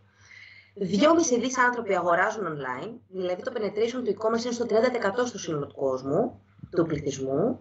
Και αν κάποιος πιστεύει ότι αυτό μπορεί να μην ισχύει για την Ελλάδα και αυτά τα νούμερα ακούγονται περίεργα, ήδη σας μετέφερα το 74% του internet penetration και τώρα θα σας πω το 53% του e-commerce penetration. 53% λοιπόν των Ελλήνων αγοράζουν online ε, καθημερινά σε διάφορες βέβαια κατηγορίες και ανάλογα τη χώρα και το ηλικιακό group, οι κατηγορίες για τις οποίες τα industries τα οποία επιλέγουν περισσότερο για τις online αγορές τους βέβαια διαφοροποιούνται. Ε, πάμε στο επόμενο slide. Εδώ θα μιλήσουμε για trends. Ε, με την εκθετική ανάπτυξη λοιπόν της τεχνολογίας, είναι αυτό που λέγαμε ότι μπορεί και να αναπτύσσεται και βλέπουμε εξελίξεις μέσα σε μήνες, πραγμάτων που πριν βλέπαμε μέσα σε χρόνια και δεκαετίες. Ε, δεν φτάνει λοιπόν που αναπτύσσεται με αυτό το ρυθμό η τεχνολογία, αλλά έχει αρχίσει και γίνεται πια και άμεσα προσβάσιμη. Έτσι λοιπόν αυτά τα trends αλλάζουν τη ζωή μας από το AR και AI τεχνολογίες σε καθημερινές υπηρεσίες, όπως το Virtual Try-On που σας είπα νωρίτερα από τους αυτοματισμούς μέσω robotics processes και machine learning που μπορούν να κάνουν την, την, την επικοινωνία μας με τους καταναλωτές πολύ πιο γρήγορη και πολύ πιο άμεση. Το blockchain που δημιουργεί ένα καινούριο κρύπτο κόσμο και τα NFTs ως ένα καινούριο currency για να μπορούμε να μεταφέρουμε ε, τόσο ψηφιακά όσο και physical προϊόντα ο ένας στον άλλον. Το 5G, breakthrough τεχνολογία που αλλάζει τον τρόπο που καταναλώνουμε περιεχόμενο και όχι μόνο και είναι τύπου εδώ, αύριο. Δεν είναι κάτι το βλέπουμε σε 10 χρόνια να έρχεται. Και αυτά είναι μόνο κάποια από αυτά τα trends που θα αλλάξουν ριζικά τον τρόπο που βιώνουμε το digital, ε, την εμπειρία μας γενικά στις digital platforms και θα μεγιστοποιήσουν βέβαια και τις ε, δυνατότητες της κάθε πλατφόρμας. Είτε είναι social, είτε είναι e-retail, είτε είναι pure player, είτε είναι website ενός brand, οτιδήποτε, ε, οποιαδήποτε πλατφόρμα θα αλλάξει ριζικά. Ε, απ' την άλλη πλευρά, ε, έχουμε αδιανόητα μεγέθη δεδομένων στη διάθεσή μας για να μπορούμε να καταλάβουμε και να προβλέψουμε τις καλύτερες υπηρεσίες, τα σωστά μηνύματα επικοινωνίας προς τους καταναλωτές, την εμπορική πολιτική που θα είναι effective και ό,τι μπορεί να φανταστεί κανείς. Δεν έχουμε κανένα λόγο να φανταζόμαστε τι θα δουλέψει, γιατί έχουμε άπειρα δεδομένα να είμαστε σίγουροι για το τι θα δουλέψει και τι είναι σωστό. Θα σας πω ένα νούμερο που διάβασα κάπου, μου έκανε φοβερή εντύπωση. Λέγεται λέει ότι υπάρχουν 40 φορές περισσότερα δεδομένα διαθέσιμα στην ψηφιακή σφαίρα από ότι τα, τα παρατηρήσιμα αστέρια στο σύμπαν. Δεν ξέρω, εμένα αυτό μου φαίνεται αδιανόητο. Δηλαδή 40 φορές περισσότερο. Και μάλλον για να το έχουν γράψει σε σοβαρά, ε, ε, σοβαροί publishers που το διάβασα, κάτι τέτοιο θα ισχύει. Την ίδια στιγμή, ε, ταυτόχρονα σε πιο σοβαρό τόνο βέβαια, υπάρχει και μεγάλη ανησυχία για το privacy αυτών των δεδομένων και της ιδιωτικότητας των ανθρώπων που μοιράζονται αυτά τα δεδομένα. Ενώ ταυτόχρονα υπάρχει και μια διαταραχή που θα έρθει άμεσα σε όλο το, τον κόσμο αυτών των tech giants, δεδομένου ότι πλέον κινούμαστε σε ένα cookieless world. Οπότε όλη αυτή η πληροφορία που λαμβάνουν μέσα από cookies δεν θα υφίσταται πια και το πώς αυτό θα το αντιμετωπίσουν αυτοί οι tech giants ακόμα είναι ένα ερωτηματικό. Σίγουρα όμως δημιουργεί ένα, μια διαταραχή. Ε, άρα έως τώρα είδαμε τη διείσδυση του digital σε διάφορα διαφορετικά touch points του digital να απογειώνεται, την εκθετική ανάπτυξη της τεχνολογίας να γίνεται άμεση προσβάσιμη, τα data να είναι massive και ε, διαθέσιμα προς όλους. Επόμενο λοιπόν είναι να αλλάξει δραματικά και το consumer journey ε, των καταναλωτών. Και εννοείται πως δεν θα σταθώ σε αυτό το slide από το 10 στο 20 και ο λόγος που το λέω είναι γιατί είναι κάτι που έχει γίνει, το βιώνουμε, το ξέρουμε, το έχουμε καταλάβει. Ναι, το ταξίδι ήταν linear, έγινε μετά ε, στρογγυλό, μετά πήγαινε και ερχόταν ο καταναλωτής για να πάρει αποφάσεις και ήρθαν και οι έννοιες του ρόπο και όλα αυτά και τέλεια. Είπαμε όμως ότι σήμερα κάνουμε reimagine the future, οπότε δεν θα σταθώ σε αυτά που ήδη περάσαμε. Θα σταθώ στο να φανταστούμε το consumer journey στο 2030. Εάν βάλουμε λοιπόν όλα αυτά τα τεχνολογικά ε, επιτεύγματα που βλέπουμε, τα trends που βλέπουμε να έρχονται και σκεφτούμε πού θα μπορούσαν να συμβάλλουν μέσα σε αυτά τα διαφορετικά σημεία αυτού του journey, θα σκεφτούμε μια εποχή όπου τα NFTs και το cryptocurrency θα είναι ο διαδεδομένος τρόπος αγορών.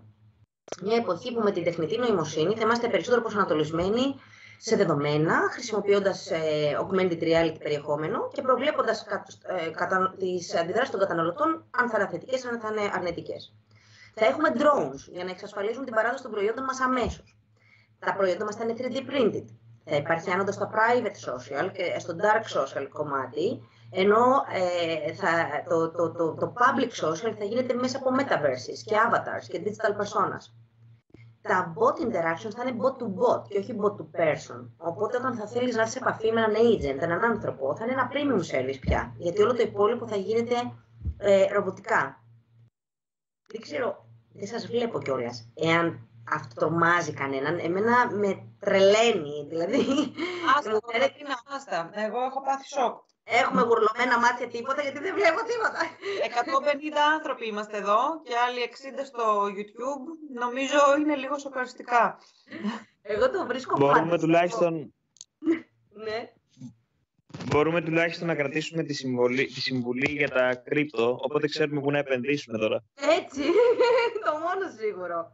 Το μόνο σίγουρο. Εγώ και κάτι φίλοι έχουμε ήδη μπει σε αυτή τη διαδικασία. Ε, εγώ δεν ξέρω πώς το, πραγματικά πώς το βλέπετε. Το βρίσκω φανταστικό, το βρίσκω exciting. Ε, είναι και ένας από τους λόγους που λατρεύω να δουλεύω σε αυτό το οικοσύστημα του digital, γιατί πάντα αλλάζει. Δεν είναι ποτέ αυτό που πάντα έκανα. Έβλεπα το σποτάκι μου, τα GRPs μου και αυτά. Είναι μονίμως κάτι καινούριο, κάτι φανταστικό. Αυτό λοιπόν το φανταστικό μέλλον κοιτάμε στη L'Oreal και προετοιμαζόμαστε και με αυτό θα πάω να σας δείξω λίγο τη στρατηγική και πώς έχουμε ε, εξελίξει αυτή τη στρατηγική μέσα στα χρόνια, πολύ πολύ γρήγορα, γιατί φοβάμαι ότι δεν έχουμε και πάρα πολύ χρόνο. Όπως είπαμε λοιπόν, στην L'Oreal εξελίσσουμε τη στρατηγική παρακολουθώντας εξελίξεις. Έτσι, ξεκινήσαμε με φόκου σε τρεις πυλώνες, ε, εστιάζοντας στα digital touch points που εκείνη την περίοδο ο χρήστης ε, ε, αξιοποιούσε στο καταναλωτικό ταξίδι. Πρώτα πρώτα λοιπόν τα websites των μαρκών μας, τα social media σαν μέσο προώθησης και επικοινωνίας, το precision advertising για προσωποποιημένα μηνύματα, το CRM για το χτίσιμο της σχέσης και σαφέστατα το e-commerce υπήρξαν, ήταν οι βασικές μας προτεραιότητες με όπως βλέπετε 20%, 50% και 100% θα εξηγήσω τι σημαίνει στοχοποίηση ως προς αυτό και αυτό ήταν το frame. Και εδώ θα κάνω μια παρένθεση για να απαντήσω λίγο σε αυτή τη συζήτηση που είχαμε νωρίτερα. Το frame λοιπόν του group είναι ότι το 20, ήτανε, ότι το 20% του business, του turnover μας, θα πρέπει να γίνεται μέσα από το e-commerce. Αυτή ήταν η κατεύθυνση. Τώρα αυτό το κάναμε στην Ελλάδα μέσα από τα φαρμακεία, μέσα από τα σούπερ μάρκετ, μέσα από, το, από τα cosmetic stores, ε, ε, μόνο από τη CPD, λίγο ε, ε, το ευρεία ε, ή από το professional ή οτιδήποτε, ήταν, ήταν το δικό μας go-to-market strategy. Απαντάω σε εκείνο που λέγαμε κατά πόσο έχουμε flexibility να κινούμαστε. Ε, αυτή λοιπόν η, η, η αρχική ε, στρατηγική εξελίχθηκε στο μέλλον, διότι εκμεταλλευόμενοι, όπως είπα και πριν, την εξέλιξη τεχνολογίας AR, προχωρήσαμε σε video services, άρα φέραμε την επαφή με τα προϊόντα μας και online. Είδαμε ότι αυτό έχει τεράστια ανταπόκριση από τους καταναλωτές μας, πόσο μάλλον εν μέσω COVID, δεν το συζητάω, με πάνω από ένα εκατομμύριο ε, επισκέψεις, αν θυμάμαι καλά το τελευταίο νούμερο, επισκέπτες, όχι επισκέπτες, επισκέπτες, στα, στα services ε, το τελευταίο χρόνο στην Ελλάδα. Οπότε αποτέλεσε τη μεγάλη τέταρτη μας προτεραιότητα. Και πλέον είμαστε μια εταιρεία όχι μόνο προϊόντων, αλλά και υπηρεσιών. Και τι λέμε, ποιος είναι ο στόχος μας για αυτά, είναι ότι το 25% των επισκέψεων που έχουμε στο site μας θέλουμε να κάνει engage με ένα από τα services που έχουμε πάνω. Και γιατί είναι αυτός ο στόχος, γιατί που θα έλεγε ότι ακούγεται και λίγο αυτός σκοπός είναι στόχος γιατί. και πάντα έτσι κάνουμε στη L'Oreal. Αρχικά βάζουμε ένα, τον πύχη κάπου ψηλά για, το, αρχικά για, τον, για, να, για να καταλάβουμε ότι έγινε προτεραιότητα. Και στη συνέχεια αρχίζουμε και κάνουμε πιο qualitative KPIs για το, για, που, που έχουν μεγαλύτερη απήχηση στο κατά πόσο δουλεύει τελικά το service ή όχι, ή οποιαδήποτε προτεραιότητα. Δεν ξέρω αν σα γίνομαι κατανοητή. Οπότε θέλω να πω αρχικά λοιπόν το frame και η στρατηγική μας είναι σε αυτό το level, σε αυτό το επίπεδο. Όπως βλέπετε, το e-commerce πήγε στο 50% από το 20% που ήταν μέχρι το 2025 και αλήθεια είναι ότι δεν είμαστε μακριά. Ε, πάμε να δούμε λοιπόν κάποια νούμερα. Σήμερα λοιπόν ε, βλέποντας όλα αυτά που είναι global νούμερα αλλά δεν έχει πολύ μεγάλη διαφορά όχι προς το, στο απόλυτο νούμερο σαφέστατα αλλά προς το weight και στο μέγεθος του, των, των digital προτεραιοτήτων και στην Ελλάδα. Θα σας πω έτσι ενδεικτικά κάποια πράγματα. Ε, στην Ελλάδα λοιπόν έχουμε πάνω από 5 εκατομμύρια επισκέψεις στα, στις ιστοσελίδες μας και 30 εκατομμύρια views στα κανάλια μας στο YouTube. Διαχειριζόμαστε πάνω από 60.000 συζητήσεις μέσα από το social ε, chat μας ε, και το e-commerce φέτος έκλεισε στο 15% του business μας. Ε, επενδύουμε πάνω από 50% των media μας στο digital και όπως είπα, οι υπηρεσίες μας έχουν πάνω από ένα εκατομμύριο χρήστες. Την ίδια στιγμή έχουμε, εκπαιδεύουμε ασταμάτητα τους ανθρώπους μας, οι οποίοι έχουν αυξηθεί κατά 1000% ε, από το 2014, οι digital experts μας εννοώ, μέχρι το 2021, οι οποίοι με τη σειρά τους βέβαια έκαναν ψηλό όλο τον οργανισμό. Οπότε, ναι, και globally και locally σε L'Oreal, θεωρούμε ότι ναι, είμαστε μια digital first εταιρεία ε, και νιώθουμε έτοιμοι να, να δούμε αυτό το νέο digital κόσμο ε, και να επικεντρωθούμε σε αυτά τα νέα trends. Για να κλείσω λοιπόν ε, όλο αυτό το κομμάτι του future και του imagination, θα σας δείξω μόνο μερικά παραδείγματα των πραγμάτων που εμείς ήδη έχουμε αρχίσει να κάνουμε pilots και test and learn ε, και είναι κάποια από τα trends που θεωρούμε ότι θα είναι άμεσα ε, σχετικά με το ε, σχετικά προσβάσιμα και άμεσα στο, στο, στους καταναλωτές. Πρώτο λοιπόν είναι το gaming. Ε, ποιος, δεν ξέρω τώρα, θα λέει κανείς επειδή έκανε και αυτήν την εισαγωγή ότι αυτή θα το βάλει το gaming σαν προτεραιότητα. δεν είμαι εγώ, είναι το group. Ε, με εξυπηρετεί, αλλά δεν είναι δική μου. Ε, Κάποιο θα λέει λοιπόν τι σχέση έχει το gaming με την ομορφιά; Βλέπουμε όμως και από το slide ότι 45% των gamers είναι γυναίκες και επίσης ποιος είπε ότι η ομορφιά είναι μόνο για γυναίκες. Οπότε σαφέστατα το gaming είναι ένας πολύ ενδιαφέρον κόσμος τον οποίο θα πρέπει να εξερευνήσουμε σαν L'Oreal. Είναι ένας κόσμος από metaverses και avatars και έτσι θα συνεχίσει να είναι είναι ένας νέος τρόπος κοινωνικοποίησης που ανεβάζει ε, συνέχεια ε, penetration για αυτό το σκοπό της κοινωνικοποίησης. Πολλοί νέοι φεύγουν από τα social media και πηγαίνουν στο Twitch ή σε gaming platforms άλλες για, για social, socialization reasons. Είναι ένας νέος τρόπος διασκέδασης. Ε, λέγεται ότι τα e-sports θα γίνουν μεγαλύτερα και από τα, και από τα πιο προβαλλόμενα αθλήματα παγκοσμίως. Είναι επίσης ένας νέος τρόπος virtual reality. Μπορούμε να είμαστε όποιος θέλουμε, να κάνουμε ό,τι θέλουμε μέσα σε αυτό το, μέσα σε αυτό το περιβάλλον. Και είναι βέβαια ένας νέος τρόπος να χτίσουμε brands. Και βλέπουμε παραδείγματα στο βίντεο που σας ε, δείχνω, αρκεί να το κάνουμε σωστά και όχι έτσι επιτιδευμένα και ευηδιασμένα. Δεύτερο τρένο με το οποίο η L'Oreal ασχολείται πολύ έντονα αυτή τη στιγμή είναι το κομμάτι του RPA, Robotics Process και Automation δηλαδή, ε, και την εφαρμογή του κατά κύριο λόγο στο κομμάτι του consumer care. Δηλαδή, ε, εμείς αυτή τη στιγμή στη L'Oreal, παγκοσμίως και στην Ελλάδα, έχουμε τμήματα, μεγάλα μικρά, από ανθρώπους που απαντάνε στο τηλέφωνο σε καταναλωτές για διάφορες απορίες τους κτλ. Ή ε, τους απαντάνε σε web forms. Συγγνώμη, κάποιος λέει κάτι; Όχι. Ή σε live chats, ή στο, ή στο messenger chat, ή στο whatsapp. Σε κάθε περίπτωση πάντως έχουμε ένα ένα αρκετό κόσμο στην εταιρεία, ο οποίος η δουλειά του είναι να απαντάει στους καταναλωτές όσο πιο άμεσα γίνεται. Μέσα λοιπόν από αυτή τη τεχνολογία, ε, τους αυτοματισμούς και το robotics, ε, μπορούμε να δώσουμε τη δυνατότητα από τη μία στους καταναλωτές να έρθουν σε επαφή με τους ανθρώπους μας για οποιαδήποτε ανάγκη τους άμεσα, μέσα σε μία ώρα το αργότερο, όταν επίσης δίνουμε και τη δυνατότητα στους ανθρώπους L'Oreal που κάνουν αυτή τη δουλειά να την κάνουν καλύτερα, να, πάρουν, να, να έχουν προτάσεις από το, από το machine learning για το πώς θα απαντήσουν πιο σωστά στον καταναλωτή.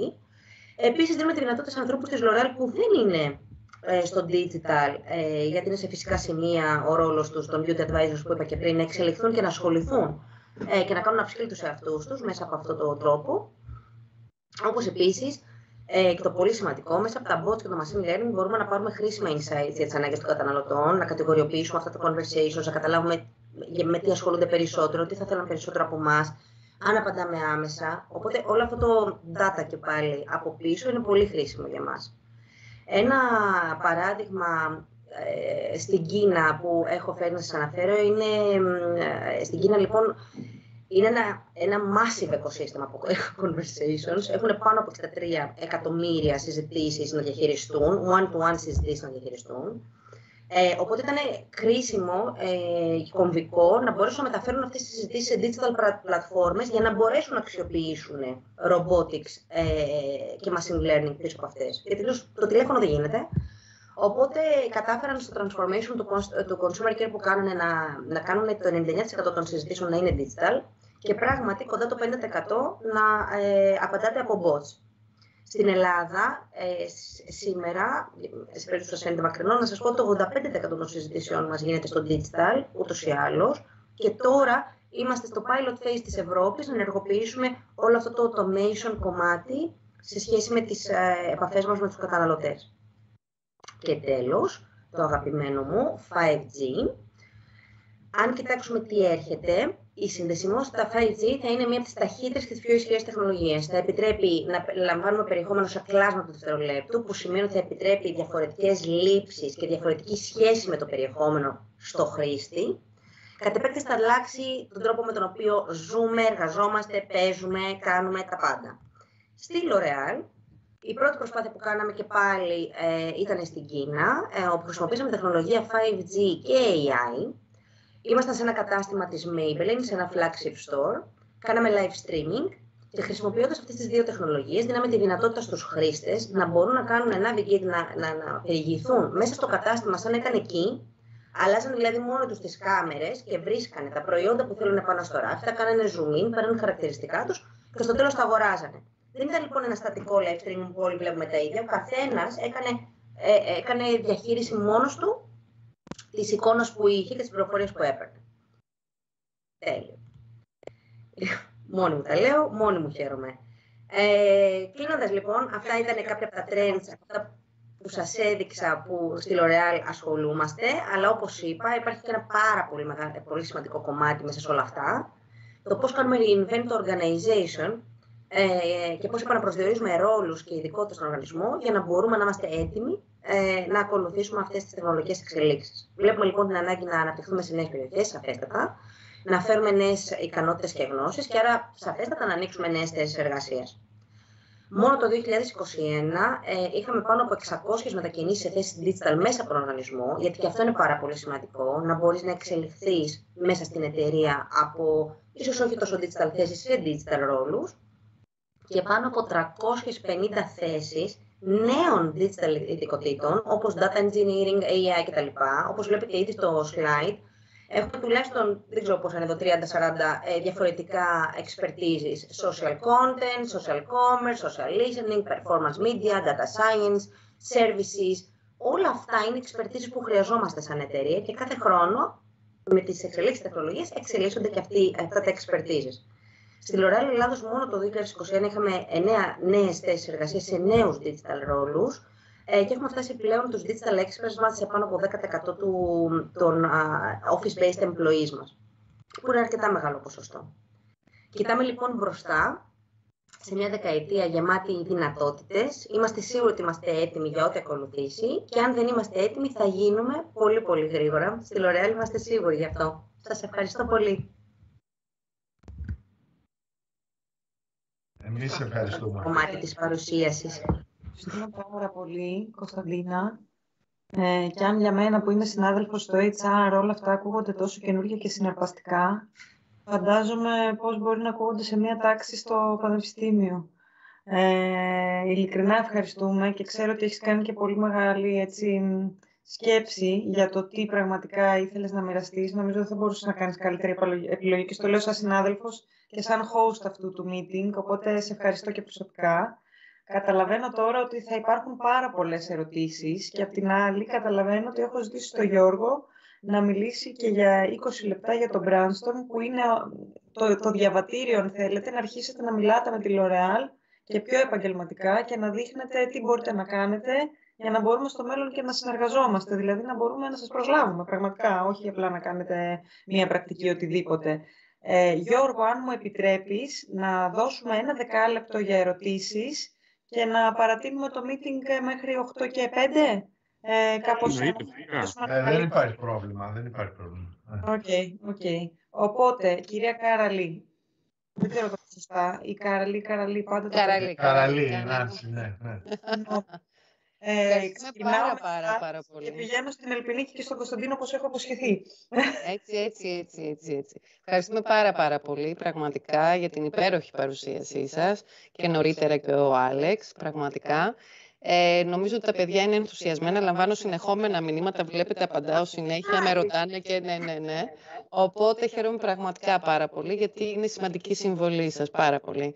Εγώ θα ήθελα λίγο, επειδή με ρωτάνε τα παιδιά, να μας πείτε λίγο περισσότερα πράγματα κατά πόσο η L'Oreal θα μπορέσει μέσω το bitcoin ή το NFTs που είπατε και το Ethereum που μου στέλνουν την πλατφόρμα, πώς θα μπορεί να εμπλακεί, δηλαδή ως εταιρεία, πώς θα το χρησιμοποιήσει το, τα NFTs. Λοιπόν, εκτός ότι η αλήθεια είναι ότι δεν είναι στο, στις βασικές μας προτεραιότητες για την επόμενη χρονιά, σας έδειξα ποιες είναι τα trends που είπαμε, ε, το, το gaming, το robotics και το 5G σε κάθε περίπτωση, γιατί πάνω απ' όλα είμαστε εταιρεία που προσφέρει εμπειρία, γιατί η ομορφιά είναι εμπειρία, οπότε κυρίως κάνουμε focus σε αυτού του είδους τις ε, τεχνολογίες. Ε, το κομμάτι των NFTs και το blockchain θεωρώ ότι θα αλλάξει και το λόγος που το ανέφερα. Δεν είναι τόσο σαν μια αλλαγή ως προς τη L'Oreal σαν business model ή ε, τρόπο ε, επικοινωνίας με τους καταναλωτές της, π.χ. να αρχίσουμε να, ε, να πουλάμε σε αυτό το crypto world τα προϊόντα μας και να συνεργαζόμαστε σε σχέση με, με, με cryptocurrency. Σε καμία περίπτωση. Δεν, δεν νομίζω ότι είναι αυτό το, το, το, ο σκοπός. Ε, ούτε νομίζω θα γίνει, θα γίνει και άμεσα. Έχουν γίνει κάποιες προσπάθειες να δούμε κατά πόσο θα μπορούσαμε να αξιοποιήσουμε ε, τα NFTs σε κάποιες μάρκες που είχε στην Nix. Είναι σε τελείως pilot phase που δεν θα ήθελα να επεκταθώ. Οπότε αρχικά μπορώ να σας πω για να απαντήσω ε, ότι δεν είναι στις βασικές μας προτεραιότητες η αξιοποίηση των NFTs σαν brand. Είναι όμως στο, πώς να το πω, ε, πώς λέγεται, στο μικροσκόπιό μας, για να μπορούμε να ανταποκριθούμε με το που αρχίσει να γίνεται πολύ πιο broad, ε, broad η χρήση των NFTs και των bitcoin ε, στις Αυτό. Τέλεια. Ευχαριστούμε πολύ. Πολύ ωραία. Επομένως πάμε στην Ελπινίκη τώρα. Γεια σας. Γεια σας. Γεια σου.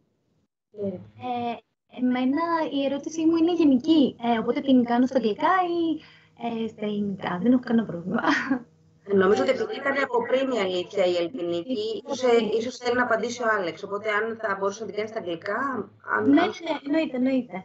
Uh, so I was wondering, during COVID, so social media like TikTok, uh, as you, Alex, said earlier, have been increased their popularity. So when people rate their pro your products, uh, let's say bad or good, um, even if they are in the same uh, company like you are, like um, Dior and Maybelline, uh, does this harm the products, the one or the other? So is it good? Is it bad?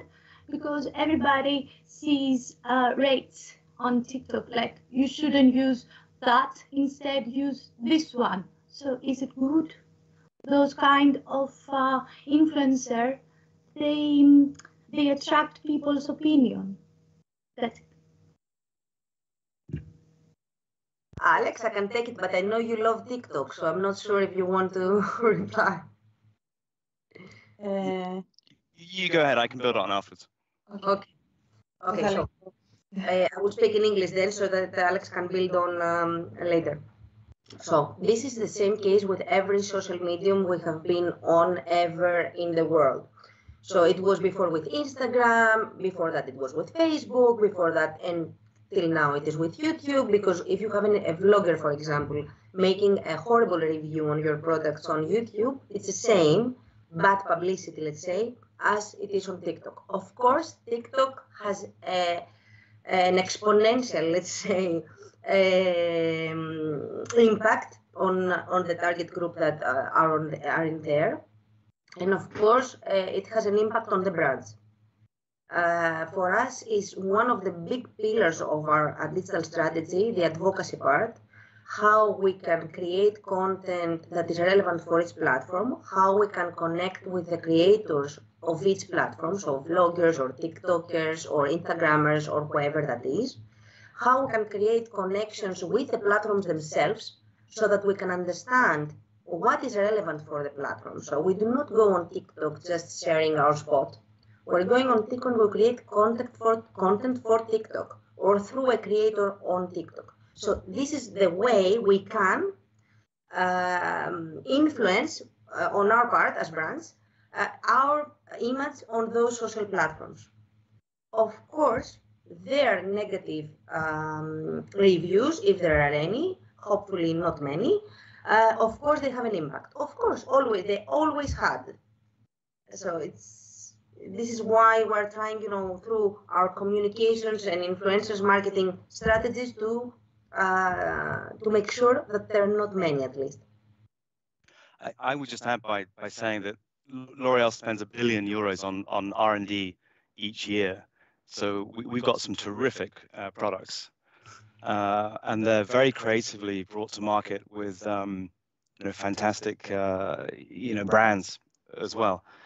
And, uh, and and and these platforms operate at huge scale. So of course you might you might get some bad behaviors and people you know buying reviews or whatever. And there's there's, there's been cases of that in, in the newspapers. But the, the scale of these platforms combined with the scale of our, our brands means that the the truth always comes out and if the truth is hey our products aren't getting great reviews then we need to make them better and uh, and, and and that's a helpful thing so that's I'm that would really be my build. Uh, I'm really sorry. I hope I didn't. You didn't misunderstood my question. I was wondering how uh, you split the the people that they they also buy uh, products from your company. Like you are L'Oreal. You both you own both Dior and Maybelline. But people they suggest, oh, you shouldn't buy Dior. It's so expensive. You should buy Oh. better um, Maybelline. It's cheaper. It's better. It's Sorry, the same. completely misunderstood. you, yeah uh, yeah okay i think i how understand do you um, diverse those um, strategies? How what do you do? That's that's my question. do you mean if a l'oreal employee are, uh, if No. should should we post on our own brands reviews or Hold on, something? let me go in Greek to make sure we Yeah. understand and I will explain. Ωραία, αυτό που εννοείς, αν καταλαβαίνω καλά, είναι έχουμε TikToker κάποιον. Ε, καταρχήν η Dior δεν είναι της L'Oreal, οπότε ας πούμε ότι λέμε για τη Lancome. Δεν Νομίζω, πειράζει. οκ, συγγνώμη. Κανένα Ε, πρόβλημα. Απλά εγώ- εκεί μπερδεύτηκα στην αρχή γιατί λέω μιλάμε για competition. Γι' αυτό Όχι, μπερδεύτηκα. όχι, Γι' αυτό. Συγγνώμη, εγώ μπορεί να είπα λάθος brand. Ε, Τέλος πάντων, αυτό που σκεφτόμουν είναι ότι πολλές φορές βλέπουμε στα βίντεο ότι λένε Α, ε, έστω και αν είναι της L'Oreal, ε, αντί να πάρεις αυτό το προϊόν της L'Oreal, πάρε αυτό της Maybelline που είναι πιο φθηνό και έχει το ίδιο αποτέλεσμα. Αυτό, εάν αυτό κάνει κακό για την ίδια την εταιρεία, την L'Oreal, όταν α, οι, ε, οι TikTokers, οι οποίοι δεν κάνουν, δεν θεωρώ ότι κάνουν κακό στο brand, καλό είναι, απλά μεταφέρουν τους αγοραστές σε κάποιο άλλο προϊόν, εάν αυτό στρατηγικά εσάς σας κάνει κακό, αν σας ενδιαφέρει και πώς το χειρίζεστε αυτό. Alex, it was all about like the same TikToker like doing like a review and proposing one brand over the other, and both brands being L'Oreal. So, for example, suggest to buy L'Oreal Paris that is cheaper and it's good uh, instead of Lancome, for example. So that was the question. And I, I, I honestly feel that that I very welcome any opinion on, on our products. And, and I think what happens through time is these TikTok TikTokers and before it was Instagrammers, they actually are pretty expert at what they do, and their their opinions matter. So if if if one of them's saying, "Hey, why pay 70 euros for Genifique from Lancome? Just buy L'Oréal Paris uh, Revitalift," then, then we, we better make sure we do something different on Lancome Genifique to justify the price premium. So it, it's a uh, yeah, I, I really do. I, I really welcome those uh, those those reviews and, and, and because they're, they they can be actionable. Th- thank you for, for, for asking the question. Thanks for clarifying it. And thank you for all the answers. Um, let's uh, go to Andrea's question. Andrea. what we could do also, if it, if it, it isn't a problem, maybe we could have some of the questions because I see six people with their hands up on the chat. I will reply everything, and we will give some um, uh, time to Yorgos to go ahead with his presentation if you don't mind. Thank you so much, Constantina. Ah, okay. Uh, It's a great idea. So we take Andrea's question as the last one in order to uh, respect also the timings that uh, we, we have agreed. And um, please, Alki, Julia, Thoma, and Thodori, uh, kindly write your question on the chat and uh, Constantina will reply instantly. Okay? In order to start with George. Thank you. Um, άρα, Κωνσταντίνε. Ναι. Θα... Αντρέας, θα πω εγώ την ερώτηση. Ε, Αντρέας. Οκ, καλησπέρα για μένα. Χρόνια πολλά και καλή χρονιά. Ε, στην κυρία Τζόκα θα ήταν η ερώτησή μου. Ε, επειδή βασικά η παρουσίαση ήταν φανταστική, ήταν πάρα πολύ ωραία. Και όντως βλέπουμε ότι η ψηφιοποίηση έχει μπει στη ζωή μας, στην καθημερινότητά μας και με πάρα πολύ ένταση, ειδικά τα τελευταία δύο χρόνια με την πανδημία. Ε, εγώ προσωπικά είμαι ένας άνθρωπος της αγοράς, είμαι στις πωλήσεις τα τελευταία 12 χρόνια και βλέπω τις αλλαγές που έρχονται όλο και πιο έντονα. Τι πιστεύετε ότι θα γίνει με τα παραδοσιακά κανάλια διανομής στα επόμενα χρόνια; Ενώ σούπερ μάρκετ, ενώ γενικά οτιδήποτε είναι φυσικό κατάστημα. Πιστεύετε ότι θα ψηφιοποιηθούν, ψηφιοποιηθούν σε 100%? Τι σημαίνει ψηφιοποιηθούν στο 100%? Δηλαδή, Οι τι, τι- shops, Ναι, ναι, ναι. Ψηφιοποίηση είναι να είσαι και να λειτουργείς και σαν pick-up point. Και να έχεις πάρα πολύ ωραία booths που ο άλλος βάζει τον κωδικό του και παίρνει την παραγγελία που έκανε online, αντί να μπει μέσα στο κατάστημα για να το κάνει πιο γρήγορα. Αυτό είναι ψηφιοποίηση, αλλά δεν καταργεί το φυσικό σημείο. Ψηφιοποίηση επίσης στο retail είναι να μπορείς να, να μπαίνεις μέσα και να, απλό παράδειγμα, ας πούμε, πώς κάνεις μόνος σου checkout, που περνάς τα, τα προϊόντα σου, να κάνεις να, να, να έχεις τον virtual assistant σου μέσα στο σημείο, γιατί δεν απαραίτητα μιλάμε στο supermarket, μπορεί να είναι apparel ή οτιδήποτε fashion, και είναι ψηφιο, ψηφιο, ψηφιοποίηση του retail. Γενικά το πρώτο βήμα που είδαμε ότι κάνανε πάρα πολύ μεγάλα food chain stores και στο εξωτερικό, ήταν αυτό να λειτουργήσουν σαν pick-up points. Να γίνεται δηλαδή παραγγελία online και να δημιουργήσουν ε, πώς να το πω, έτσι, σημεία μέσα στο κατάστημα που είναι καθαρά για να λάβεις την παραγγελία σου γρήγορα κτλ. Οι- Κάποιοι το εξέλιξαν. Το Dixons, ας πούμε, το έκανε τύπου στο φέρνω στο αυτοκίνητο. Δηλαδή έφτανες, έβλεπε ότι έχεις φτάσει, πώς βλέπουμε το Volt σήμερα, ας πούμε, ότι έρχεται, είναι από κάτω μας ο κύριος. Ε, έβλεπαν ότι έχεις φτάσει, έβγαινε, φόρτωνε, δεν πάρκαρες. Ήταν σαν να αφήνεις το παιδί στο σχολείο και να φεύγεις. Και αυτό ψηφιοποίηση είναι για μένα ε, της εμπειρίας του. Γιατί, γιατί συνδέει αυτό το όπλα show που λέμε. Online πιστεύετε offline. ότι η Ελλάδα είναι έτοιμη για κάτι τέτοιο; Σαφέστατα. Θα σας πω γιατί το ρωτάω αυτό. Γιατί, για παράδειγμα, ο ΑΒ το τελε- τον τελευταίο χρόνο έχει αλλάξει τον τρόπο με τον οποίο προμηθεύει τα καταστήματά του. Έχει βάλει έναν αλγόριθμο όπου οποιοδήποτε προϊόν τελειώνει, έρχεται πάλι στο ράφι αυτόματα από τις κεντρικές αποθήκες. Κάτι... Ναι, ναι, ναι. Κάτι το οποίο απλώς έχει δημιουργήσει αρκετά κενά στα ράφια. Είναι μέχρι να μπορέσει να μπει σε μια λειτουργία. Το 21 δηλαδή δημιουργήσει αρκετές, ε, αρκετά κενά. Το οποίο δημιούργησε πρόβλημα στο sellout των καταστημάτων αντίστοιχα. Κοίταξε, εγώ θεωρώ ότι. και το είδαμε και στην πανδημία αυτό. Ε, θεωρώ ότι οι καταναλωτές ε, και εμείς μεταξύ αυτών είμαστε πολύ πιο advanced σε σχέση με το retail ecosystem. Πέρα αυτό, έτσι, δεν θέλω να παρεξηγηθώ με τις ερωτήσεις σου. Απλά... Όχι καθόλου, καθόλου. Είμαι υπέρ του... Όχι, όχι καθόλου, δεν το παρεξηγώ καθόλου. Ε, το είδαμε όμως. Δηλαδή, είχες καταναλωτές να.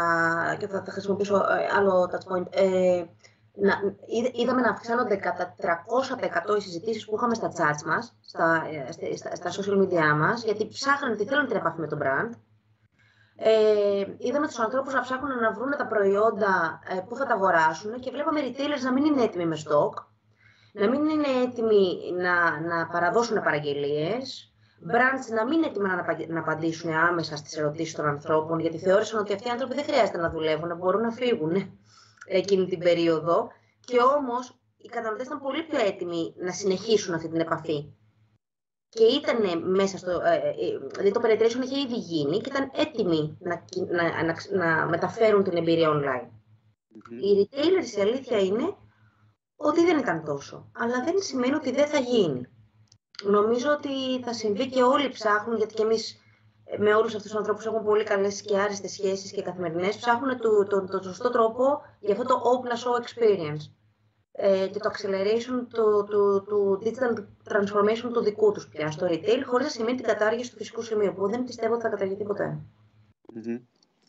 Okay. Alex, do you want to, to say something on the future of retail and digitalization of retail, on whether uh, we might never have uh, physical stores again? I'm just exaggerating. I, I, I also, I'm learning Greek, but I'm not, I'm not that fluent. I'm sure, I, I believe bricks and mortars are always going to have a role to showroom products and services, and and uh, it'll obviously reduce through time as the digital experience becomes more and more powerful. I'm sure you probably said something uh, similar to that. Yes, it was.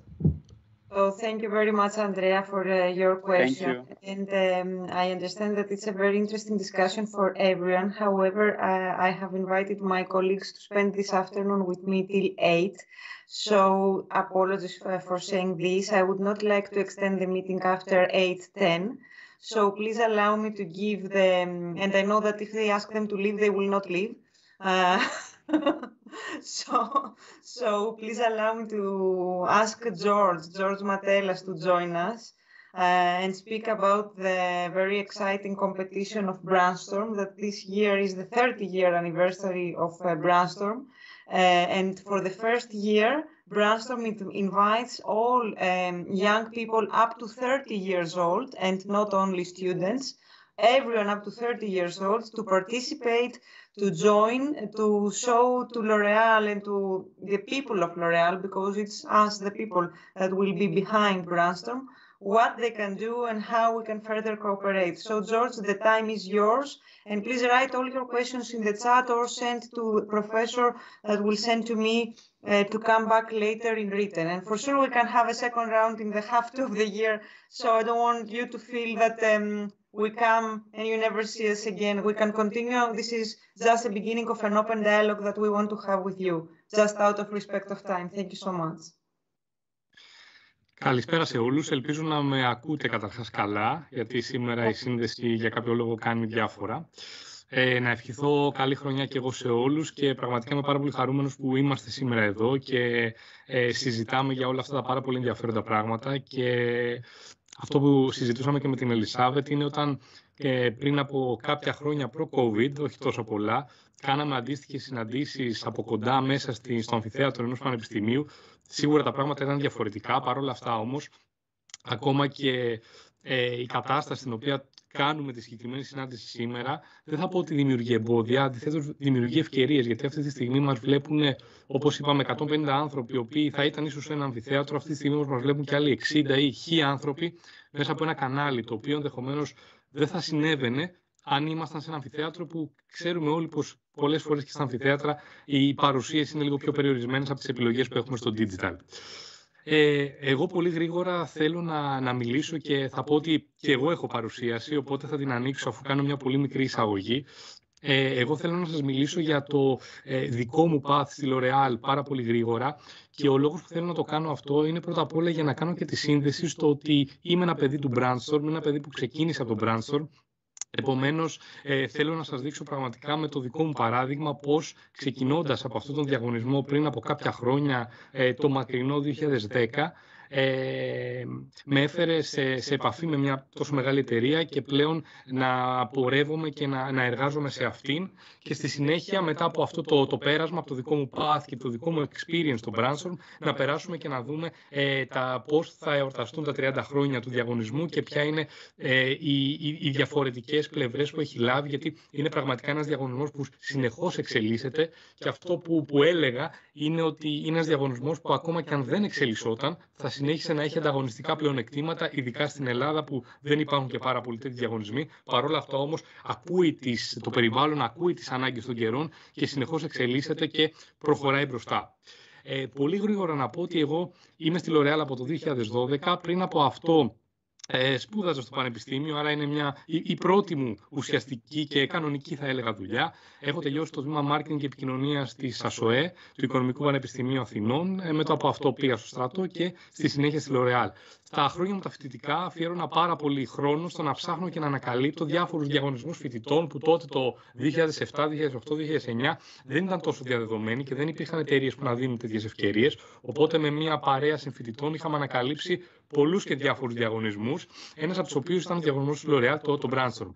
Ε, εδώ να πω ότι τότε δεν υπήρχε υποστήριξη από τους καθηγητές, μάλλον το αντίθετο. Σχεδόν μας απέτρεψαν κάποιοι κάποτε να, να λάβουμε και μέρος. Ευτυχώς που δεν τους ακούσαμε όμως.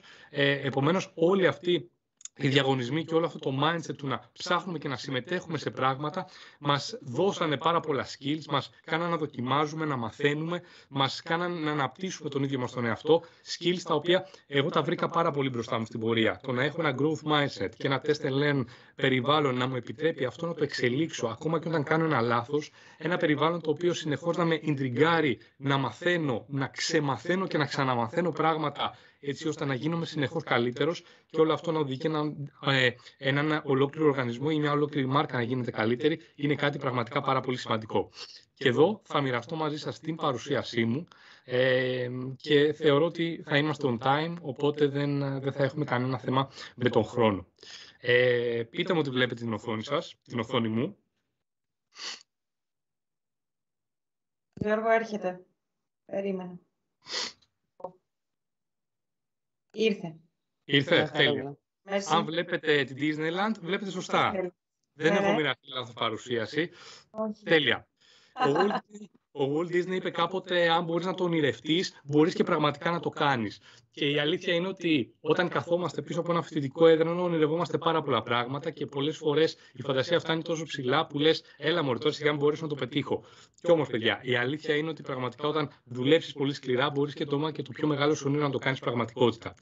Εδώ να πω ότι η δική μου ιστορία με τη L'Oreal, αν έπρεπε να την συσχετίσω με κάτι, θα ήταν ότι η L'Oreal είναι σαν ένα τρενάκι, ένα roller coaster. Και το λέω όχι μόνο για την ταχύτητα των πραγμάτων και της εξέλιξης της εταιρείας, αλλά και όπως ένα rolling coaster σου διακύρει όλες τις αισθήσεις και συνεχώς σε θέλεις, ενώ φοβάσαι κάποιες φορές να ανέβεις, να ανέβεις και να ξανανέβεις, είναι πάρα πολύ σημαντικό. Είναι στιγμές που έχει τα πάνω, είναι στιγμές που έχει τα κάτω, είναι στιγμές που ε, αισθάνεσαι μια πολύ μεγάλο πάθος και μια πολύ μεγάλη έλξη για να, ότι μπορείς να καταφέρεις τα, πάντα, τα πάντα και αυτό είναι κάτι που σου γεννά μοναδικά συναισθήματα. Έτσι λοιπόν είναι και το δικό μου feeling για όλο αυτό το πάθ μαζί με τη L'Oreal. Όπως ξεκίνησα την παρουσίαση με ένα ε, πάρκο, ένα amusement park, ένα, ένα Luna Park, ως, ας πούμε σε μεγαλύτερη έκταση ότι είναι το, το, το, το, κομμάτι της Disneyland.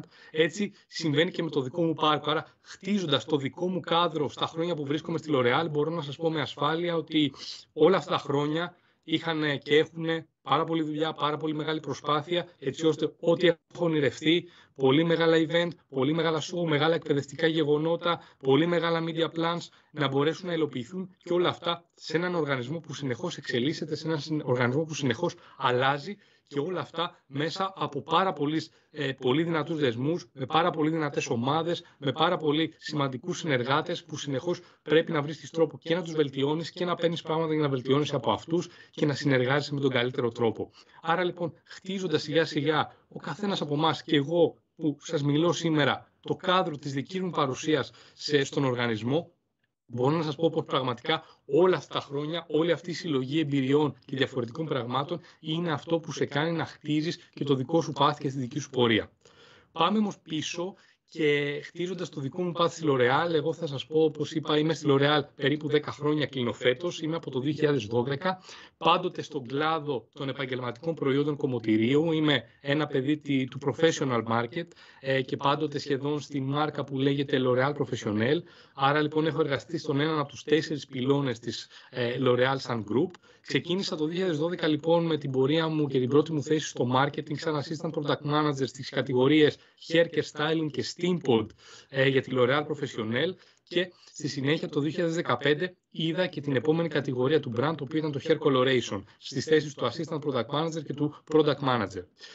Αυτό που μπορώ να πω είναι ότι το ξεκίνημά μου στο marketing, αφού τέριαζε και απόλυτα με το μετιέ και την αρχική μου ε, κατεύθυνση από τη σχολή, ήταν αυτό που πραγματικά μου έδωσε τη βάση το να μπορέσω να χτίσω το οικοδόμημα της επόμενης μου, ε, των επόμενων μου βημάτων και της καριέρας μου. Και το πολύ σημαντικό είναι ότι η αρχή και η πρώτη επαφή και τα πρώτα χρόνια σε μια τόσο μεγάλη εταιρεία δεν σε βοηθούν να χτίσεις απλά ένα οικοδόμημα και τη βάση και το σκελετό για αυτό που λέγεται ε, σπίτι, πολυκατοικία, ουρανοξύστης, αλλά και πράγματα τα οποία δεν βλέπεις. Πράγματα που βρίσκονται από κάτω. Όπως για παράδειγμα τα θεμέλια.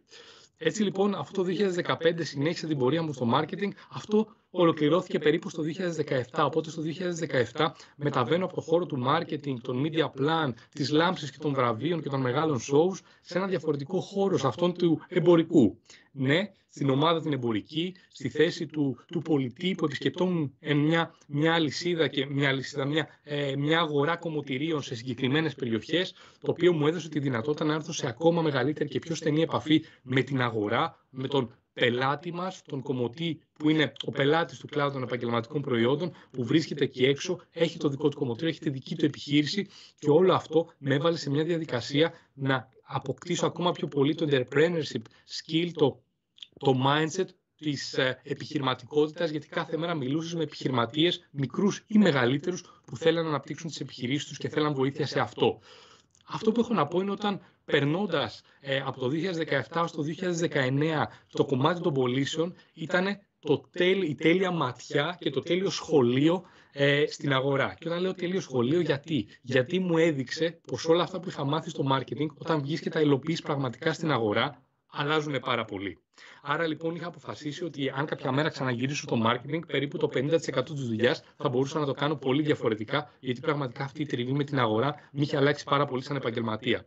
Και έρχεται το 2019, οπότε με πηγαίνω όχι πλέον στο marketing, αλλά στο business development της, ε, της εταιρείας, πιο συγκεκριμένα σε ένα κομμάτι που είχε να κάνει με το experience της καταναλώτριας μέσα στον χώρο του κομμωτηρίου και πώς βιώνει όλα αυτά τα βήματα κατά τη διάρκεια της επίσκεψης και τι εμπειρίες συλλέγει.